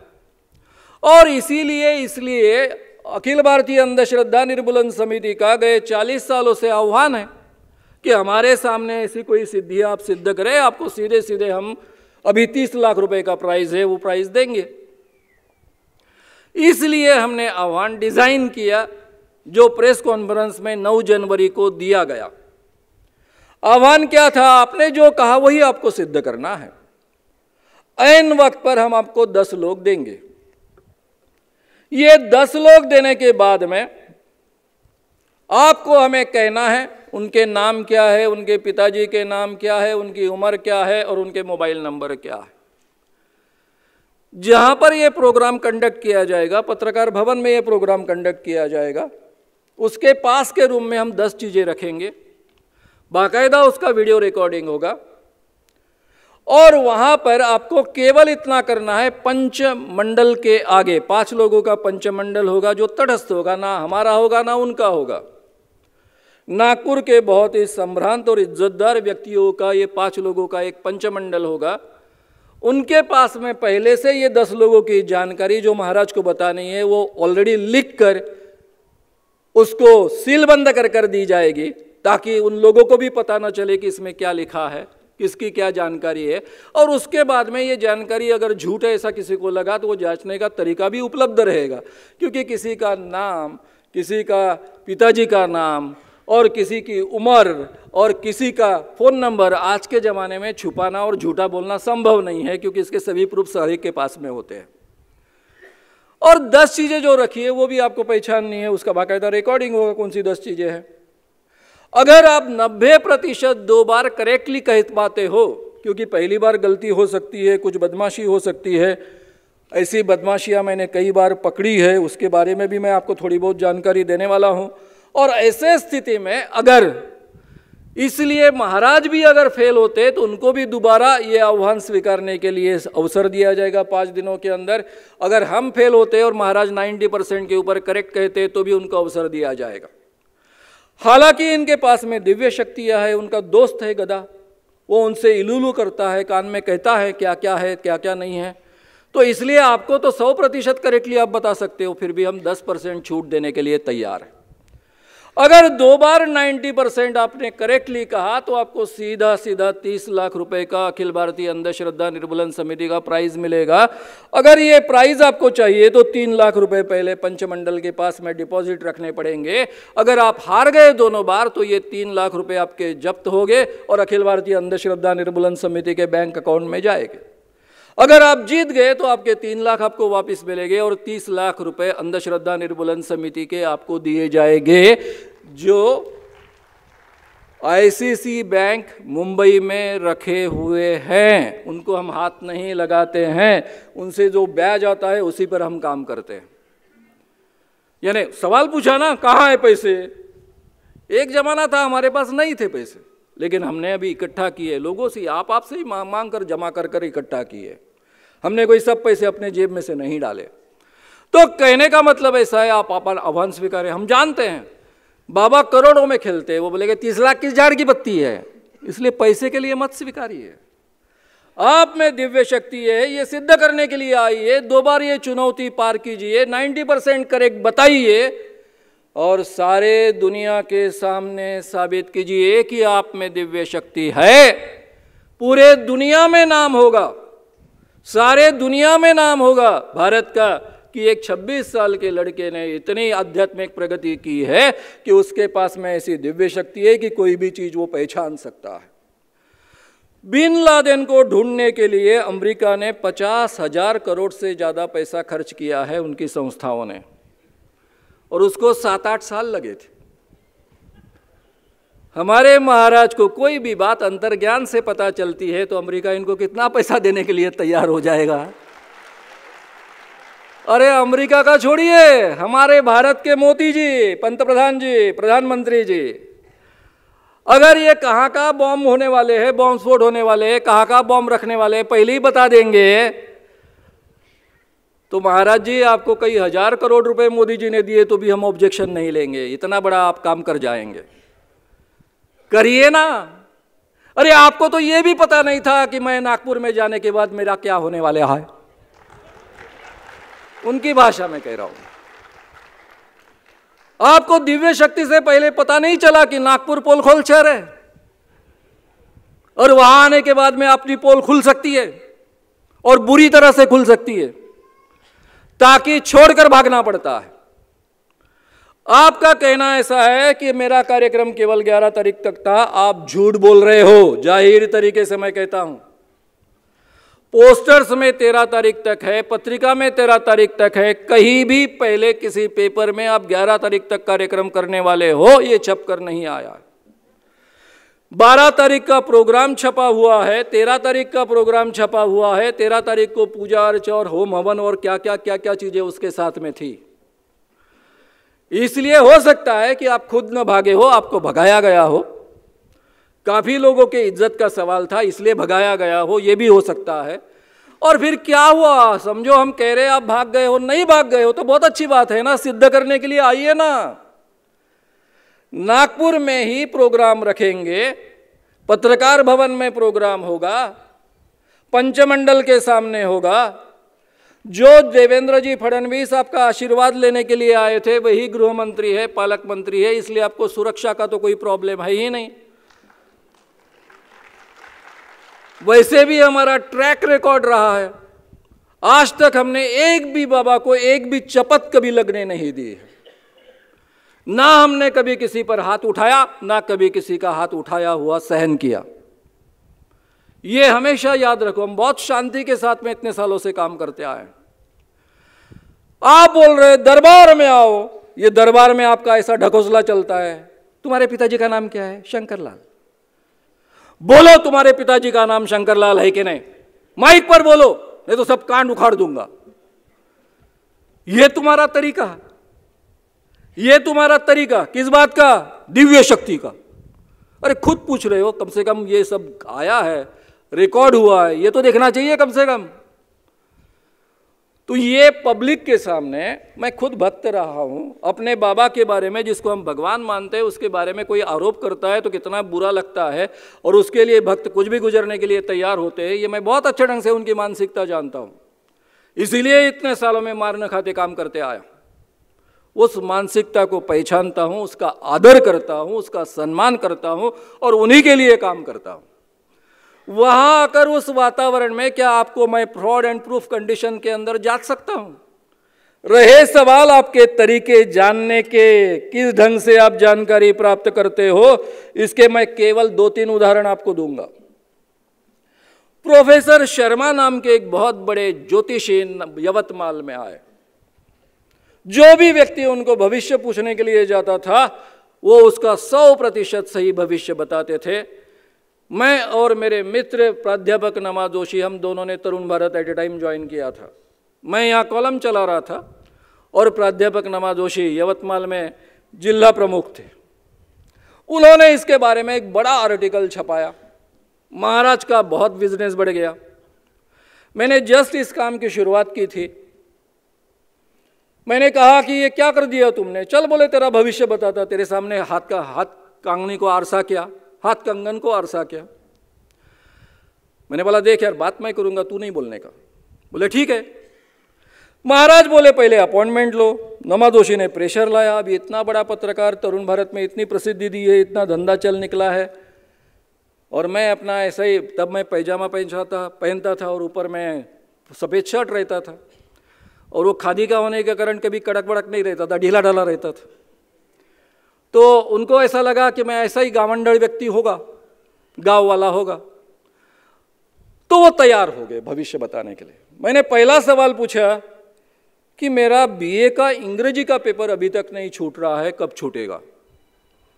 महाराज ने कुछ तो भी बता दिया। ये करो, वो करो, हो जाएगा। दूसरा सवाल पूछा, मेरी शादी नहीं हो रही है, कब होगी? और उसके बीच का सवाल पूछा था, मुझे नौकरी नहीं मिल रही, कब मिलेगी? अब ये तीन सवाल मैंने उनसे पूछे। पहले सवाल का जवाब तो उन्होंने दिया कि कभी तो भी तुम्हारा पेपर छूटेगा, लेकिन बहुत मेहनत लेनी पड़ेगी और छूटेगा, इसकी गारंटी नहीं है, फिर भी कोशिश करो। दूसरे सवाल का जवाब दिया कि तुमको नौकरी मिलने की पॉसिबिलिटी नहीं है, देहात में जो काम मिलेगा वो करो। और तीसरा उन्होंने कहा, मेरी शादी कब होगी? तो वो बोले, शादी की गुंजाइश तो अभी नहीं है, लेकिन पाँच दस साल तो शादी होने की गुंजाइश नहीं है। अभी जो कमाई नहीं करता है पढ़ा लिखा भी नहीं है तो उसका क्या होगा? अब प्रोफेसर नमा जोशी जो एमए को पढ़ाते थे, वो चिढ़ गए, क्योंकि उनको मालूम था कि ग्रेजुएशन को मैंने इंग्लिश पढ़ाया है। अब जो लड़का बीए पास नहीं हुआ, वो ग्रेजुएशन को इंग्लिश पढ़ा चुका है। नौकरी में मैं, तब किर्लोस्कर प्रेस की नौकरी में था। रहा सवाल, शादी का, शादी उसकी और मेरी नमा दोषी की और मेरी, साथ में हो चुकी थी। मुझे बच्चा भी था। फिर हमने उसको पकड़ा, उसके लड़कों को पकड़ा, वो लड़कों को पैसे देता था और जब भी कोई अपॉइंटमेंट लेता था तो उसका एड्रेस लिखवाता था, उसका नाम लिखवाता था और ये लड़के आसपास के घर में जाते थे और पूछते थे, ये जो है ना देशपांडे साहब? हाँ जी, देशपांडे साहब रहते हैं। नहीं, हमारी एक बेटी है, उसके लिए हम लड़का ढूंढ रहे हैं। तो हमने सुना है देशपांडे साहब के यहाँ लड़का है अच्छा एक पढ़ा लिखा। अरे क्या बात कर रहे हो उनके लड़के की उम्र? तो अब बारह साल की है, अभी क्या शादी करेगा वो?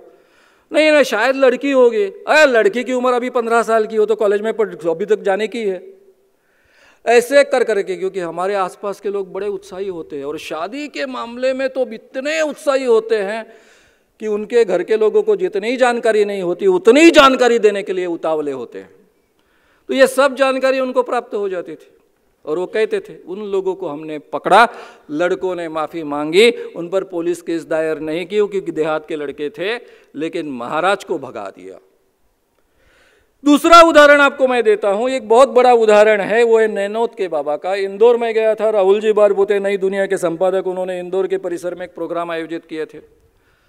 सबने मुझे छेड़ा कि नैनोद के बाबा है, बड़े चमत्कारी बाबा है और ये बाबा क्या सामर्थ्य ऐसा है, वैसा है वैसा है, आप उनको एक्सपोज क्यों नहीं करते? एक पचास लड़के लड़कियों की टीम लेकर मैं वहाँ गया।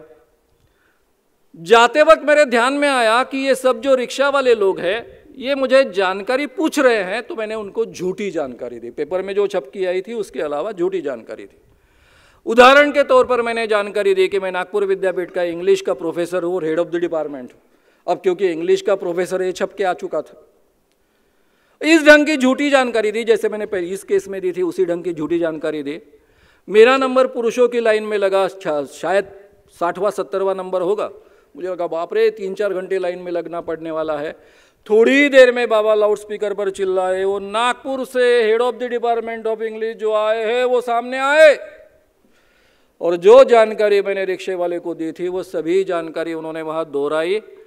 मेरे सामने चमत्कार कर कर शंकर भगवान की मूर्ति निकाली, मुझे दी और मुझे बाजू में खड़े रहने का, मैंने उनसे पूछा, मैं खड़ा रह सकता हूँ यहाँ पर? वहाँ खड़ा रहा और उनके आगे के कार्यकलाप देखता रहा। बाद में उनको कैसे एक्सपोज किया, क्या किया? ये सब बातें आप मेरे यूट्यूब चैनल पर भी देख सकते हो। विस्तार से आप वहाँ सुन सकते हो। मित्रों, ऐसे कई बाबा है। लहरी बाबा वर्धा में आया था, वो सब जानकारी बताता है, उसकी ख्याति थी। हमने एक गूँगा लड़का तैयार किया, भास्कर इथापे नाम का। वहाँ गए, उन्होंने सब हमारी झूठी जानकारी जो उनके भक्तों को दी थी, उनके साथियों को दी थी, वो दोहराई। वो सब मैं रिकॉर्ड कर रहा था। पुलिस अधिकारी वहाँ के लोहारे नाम के डीएसपी थे, ये कह रहे थे एसपी थे, वो कह रहे थे, महाराज, लहरी महाराज के अभी अभी यहाँ के एसपी मेरे चरणों पर माथा टेक कर गए हैं, वगैरह वगैरह वगैरह। और फिर हमारे भास्कर इथाबे का पेशेंस छूट गया। और जब ये कह रहा अरे गुंगे, बोल अरे गुंगे, आकर आकर आकर। वो पौन घंटा अपना नाटक करता रहा, उसका पेशेंस छूट गया और उसने जो गाली देना शुरू किया तो हमारा सब भांडा फूट गया। मैं सीधा टेप रिकॉर्डर लेकर लोहार साहब के पास गया, जो एसपी थे, उन्होंने मुझे बिठाया, खाना, चाय नाश्ता पिलाया, खाना खिलाया। तब तक ये बाबा को बिठा के वर्धा डिस्ट्रिक्ट के बाहर छोड़कर आ गए। उस ज़माने में कानून नहीं थे, ये सबसे बड़ी दिक्कत थी। तो ऐसे कई बाबा है जो झूठी जानकारी कैसे प्राप्त करते हैं, हमको बहुत अच्छे ढंग से मालूम है। सच्ची जानकारी प्राप्त करने का उनका तरिया क्या, दरिया क्या होता है, ये पता है। इसलिए हमने बाबा के दरबार में जाकर ये चीज़ें एक्सपोज नहीं कर सकते, क्योंकि उनको सपोर्ट करने वाली पूरी सिस्टम वहाँ होती है, जो उन तक जानकारी पहुँचाते। कोई दिव्य दृष्टि वगैरह नहीं होती। है तो वो नागपुर आए नागपुर में सब लोगों के सामने ये सिद्ध करे, पत्रकारों के सामने सिद्ध करे। अगर दो बार नब्बे प्रतिशत वो करेक्ट बताते हैं, पैसों के लिए मत आए, केवल दिव्य शक्ति सिद्ध करने के लिए आए तो हम अगर वो 90 परसेंट करेक्टली बताते हैं तो मैं उनके सामने, उनके चरणों पर माथा टेकूँगा, माफ़ी मांगूँगा और जो मेरे संगठन ने आज तक हज़ारों बाबाओं को, मांत्रिकों को, देवी देव शरीर में आने वाले लोगों को और ज्योतिषियों को एक्सपोज किया है, वो संगठन बंद कर दूँगा। ये ज़ाहिर तरीके से, ये ज़ाहिर तरीके से लिखित फॉर्म में मैंने प्रेस कॉन्फ्रेंस में नौ तारीख को बात कही है। तो बाबा कृपया भागे ना। अच्छा बाबा की भाषा के बारे में मैं क्या बोलूँ? बाबा कहते हैं कि वे सनातन हिंदू है। मैं एक सनातन हिंदू को बहुत अच्छे ढंग से जानता हूँ। जो मरने तक अपने आप को मैं सनातनी हिंदू ऐसा कहता था, जिसका नाम है मोहनदास करमचंद गांधी, जिसको हम गांधी कहते हैं। कभी झूठ नहीं बोलता था, नम्र भाषा का उपयोग करता था। और पूरे दुनिया में जहाँ सूरज नहीं डूबता है, ऐसे ब्रिटिश साम्राज्य से लोगों को साथ में लेकर, हाथ में लठ लेकर टक्कर देता था। रहा सवाल हिंदू धर्म के बारे में नहीं कितनी जानकारी है, पता नहीं, बोले ये नास्तिक है। नास्तिक का मतलब भी महाराज आपको मालूम है? क्योंकि हमारे सनातन हिंदू धर्म में अलग अलग विचारों की जो परंपराएँ हैं, उसमें एक परंपरा है, सांख्य परंपरा। जो आस्तिक परंपरा मानी जाती है, क्योंकि वो वेदों को मानते हैं, लेकिन ईश्वर को नहीं मानते हैं। ये भी बात आपको पता है कि नहीं मालूम है? भारत में आस्तिक और नास्तिक शब्द का उपयोग होता था। जो वेदों को मानते हैं, वो आस्तिक है। जो वेदों को नहीं मानते हैं, वो नास्तिक है। भारत में चारवाक परंपरा है जो भगवान को भी नहीं मानती, वेदों को भी नहीं मानती, लोकायत परंपरा है जो वेदों को भी नहीं मानती, भगवान को भी नहीं मानती।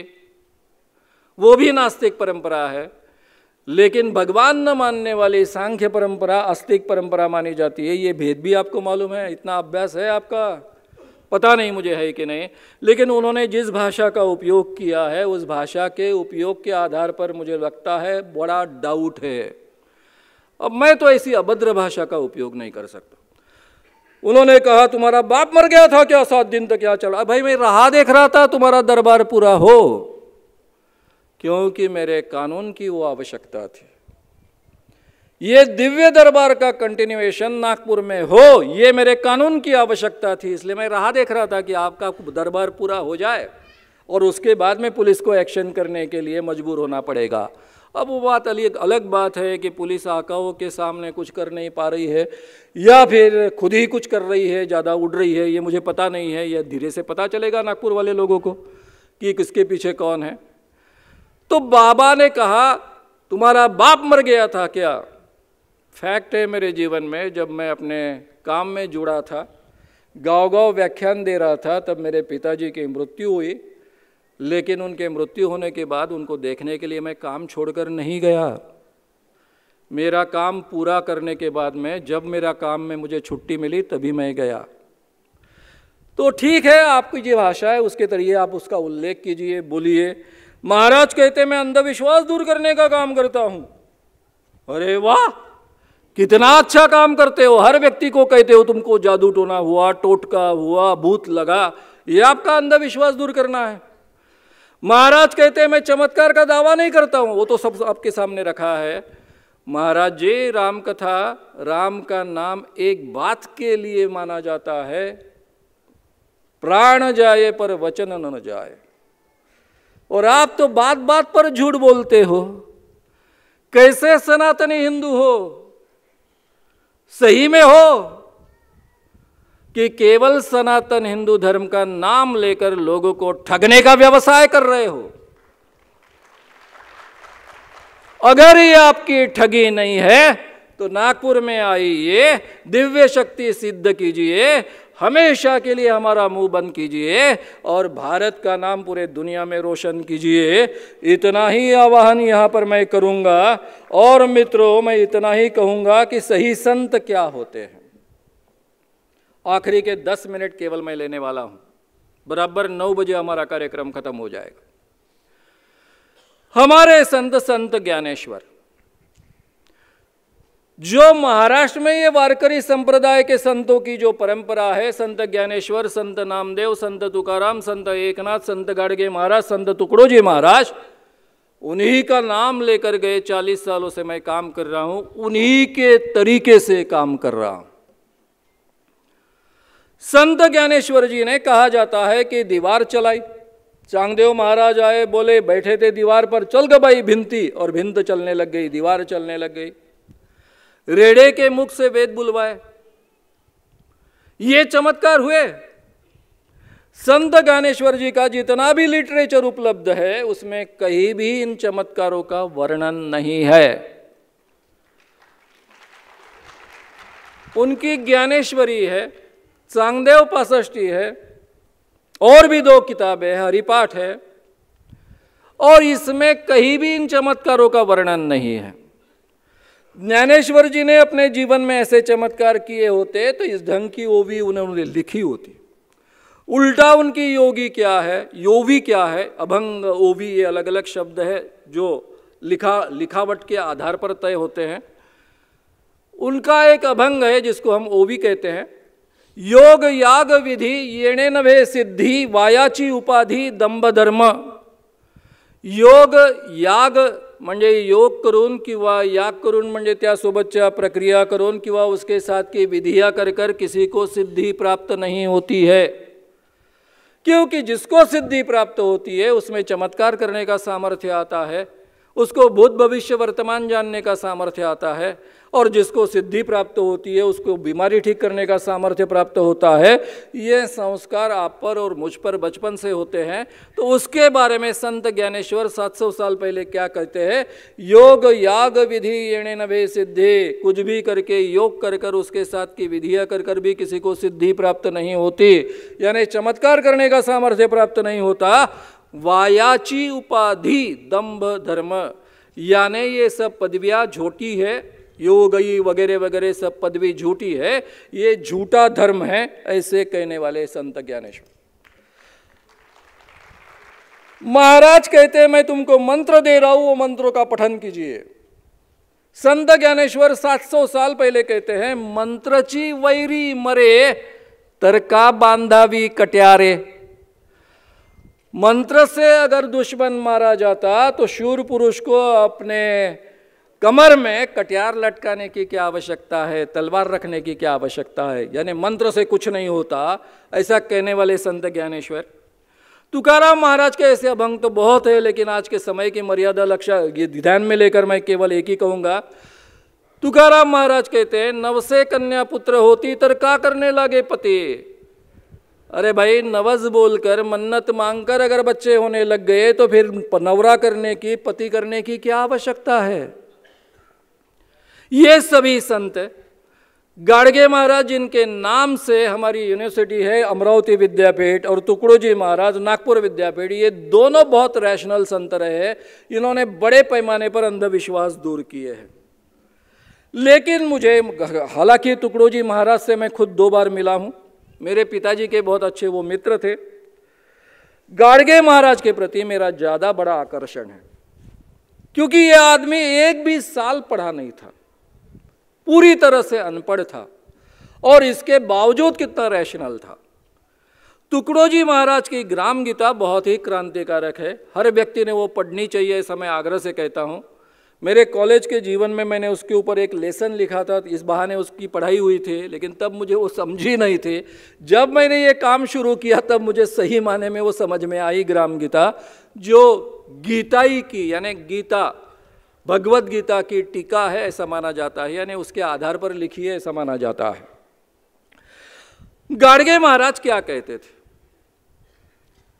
हमारे धीरेन्द्र महाराज का एक वीडियो बहुत ही प्रसारित हुआ है।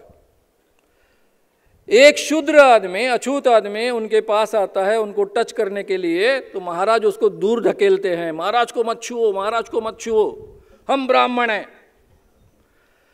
ब्राह्मण है कहने वाले धीरेन्द्र महाराज जैसे व्यक्ति को गाड़गे महाराज कैसे समझाते हैं? गाड़गे महाराज अपने कीर्तन में पूछते थे, क्या रे, तू कौन है? वो सामने बोलता था, मैं महार। हूँ तू कौन वह रे? मैं धोबी हूँ। तू कौन वह रे? मैं कुंबी हूँ।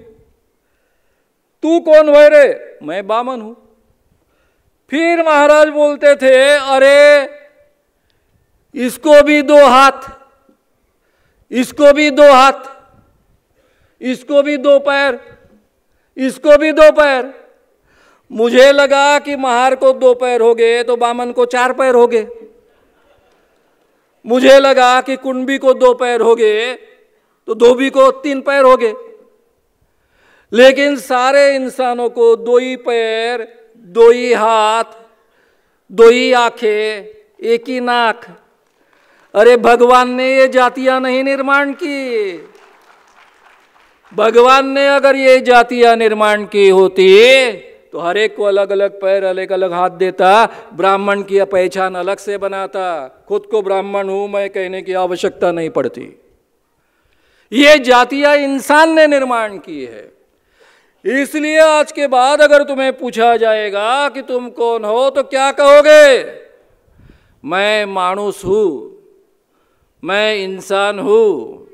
मैं मानुस हूँ, ऐसा कहना मित्रों कितने सुंदर तरीके से गाड़गे महाराज समझाते हैं। धीरेन्द्र महाराज जैसे ब्राह्मण होने का दावा करने वाले व्यक्ति को।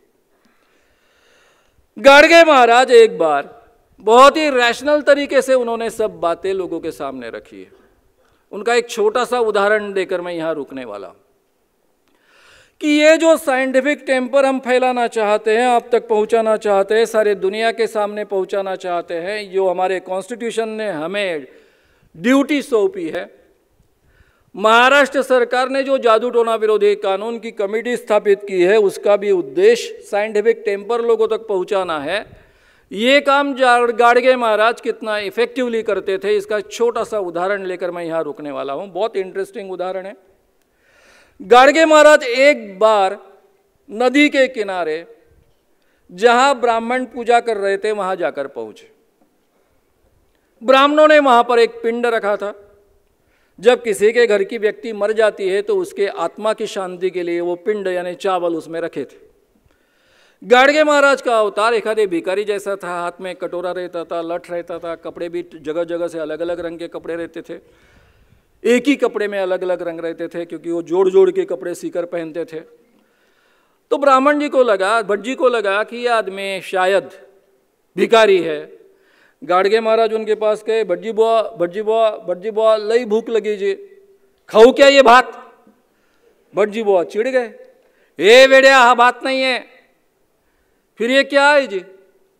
ये पिंड है। ये पिंड क्या होता है जी? फिर भट्टी बुआ उनको समझाने लगे कि ये जो व्यक्ति है जिसने अपने पूरे बाल काट डाले, इसके पिताजी मर गए, वो स्वर्ग में गए हैं, उनके लिए यहाँ पर ये पिंड रखा है। गाड़गे महाराज बोलने लगे भटजी बुवा पिंड इथं पितर यायचे स्वर्गात। यानी पिंड यहाँ पर इनके पिताजी स्वर्ग में। उनको क्या उपयोग जी? मैं भूखा हूँ, मैं खाऊं क्या? त्यावर वो कहते हैं, इसलिए तो मैं मंत्र बोल रहा हूँ। मंत्र बोलने के कारण यहाँ रखा हुआ पिंड जो है, वो स्वर्ग में इनके पिताजी के पास जाकर पहुँचता है। गाड़गे महाराज तीसरा सवाल पूछते ये स्वर्ग कितना दूर है? भट जी, वो उनको समझाते हैं कि बहुत दूर है, क्योंकि इन्होंने पूछा, मुंबई तक दूर है क्या? मुंबई तक दूर है क्या? नहीं नहीं, बहुत दूर है, बहुत दूर है, करोड़ों मील दूर है। गाड़गे महाराज मन ही मन बुदबुदाते हैं, बाप रे भट जी बुआ ने मंत्र बोला तो इनका पिंड, इनका चावल करोड़ों मील दूर जाता है, ऐसे कैसे जाता है? और उनके मन में क्या आया मालूम नहीं, वो नदी में गए, नदी के पात्र में से पानी उछालने लग गए, सब लोगों के ऊपर वो पानी उड़ने लग गया, लोग चिल्लाने लगे, ए बेड़िया पानी नो को उड़ो रे! और फिर गाड़ी महाराज बोले नहीं मैं नहीं पानी उड़ा रहा हूँ, फिर क्या कर रहा है रे? मैं अपने खेती को पानी दे रहा हूँ। ए बेड़िया, तेरा खेत कहाँ पर है रे? वो अमरावती ज़िले में है ना? अमरावती ज़िले का तेरा खेत यहाँ से कितना दूर है रे? वो बोलने लग गए 400 मील दूर होगा। अरे वेड़िया हाथ से पानी फेंक रहा है, दस मिल जाए दस फीट जाएगा, पंद्रह फीट जाएगा, बीस फीट जाएगा। चार सौ मील कैसे दूर जाएगा रे? तब गाड़गे महाराज कहते हैं कि नहीं बुआ मुझे लगा कि भटजी बुआ ने मंत्र बोला तो उनका चावल करोड़ों मील दूर जाता है तो मैं भी भगवान का नाम लू, मेरा भी पानी 400 मील दूर जाएगा। मित्रों, एक अनपढ़ आदमी ने हमें बुद्धि प्रामाण्यवाद सिखाया, साइंटिफिक टेम्पर सिखाया, विचार कैसे करना ये सिखाया, हम तो पढ़े लिखे हैं। उनकी अपेक्षा थी कि लोग पढ़ लिखेंगे तो अंधविश्वास के बाहर आएँगे इसलिए उन्होंने एक एक पैसा इकट्ठा कर कर स्कूल, कॉलेजेस खोली। हम इतने पढ़े लिखे, फिर भी हमारे महाराज धीरेन्द्र महाराज है, जो ऐसे दिव्य शक्ति का दावा करते हैं, खुले तौर से लोगों को ठगते हैं, और इसके बावजूद हम उनके चरणों पर माथा टेकने के लिए तैयार होते हैं तो थोड़ा हमने गाड़गे महाराज से सीखना चाहिए। इतना ही आह्वान यहाँ पर करूँगा और यहाँ पर रुकूँगा। धन्यवाद धन्यवाद धन्यवाद।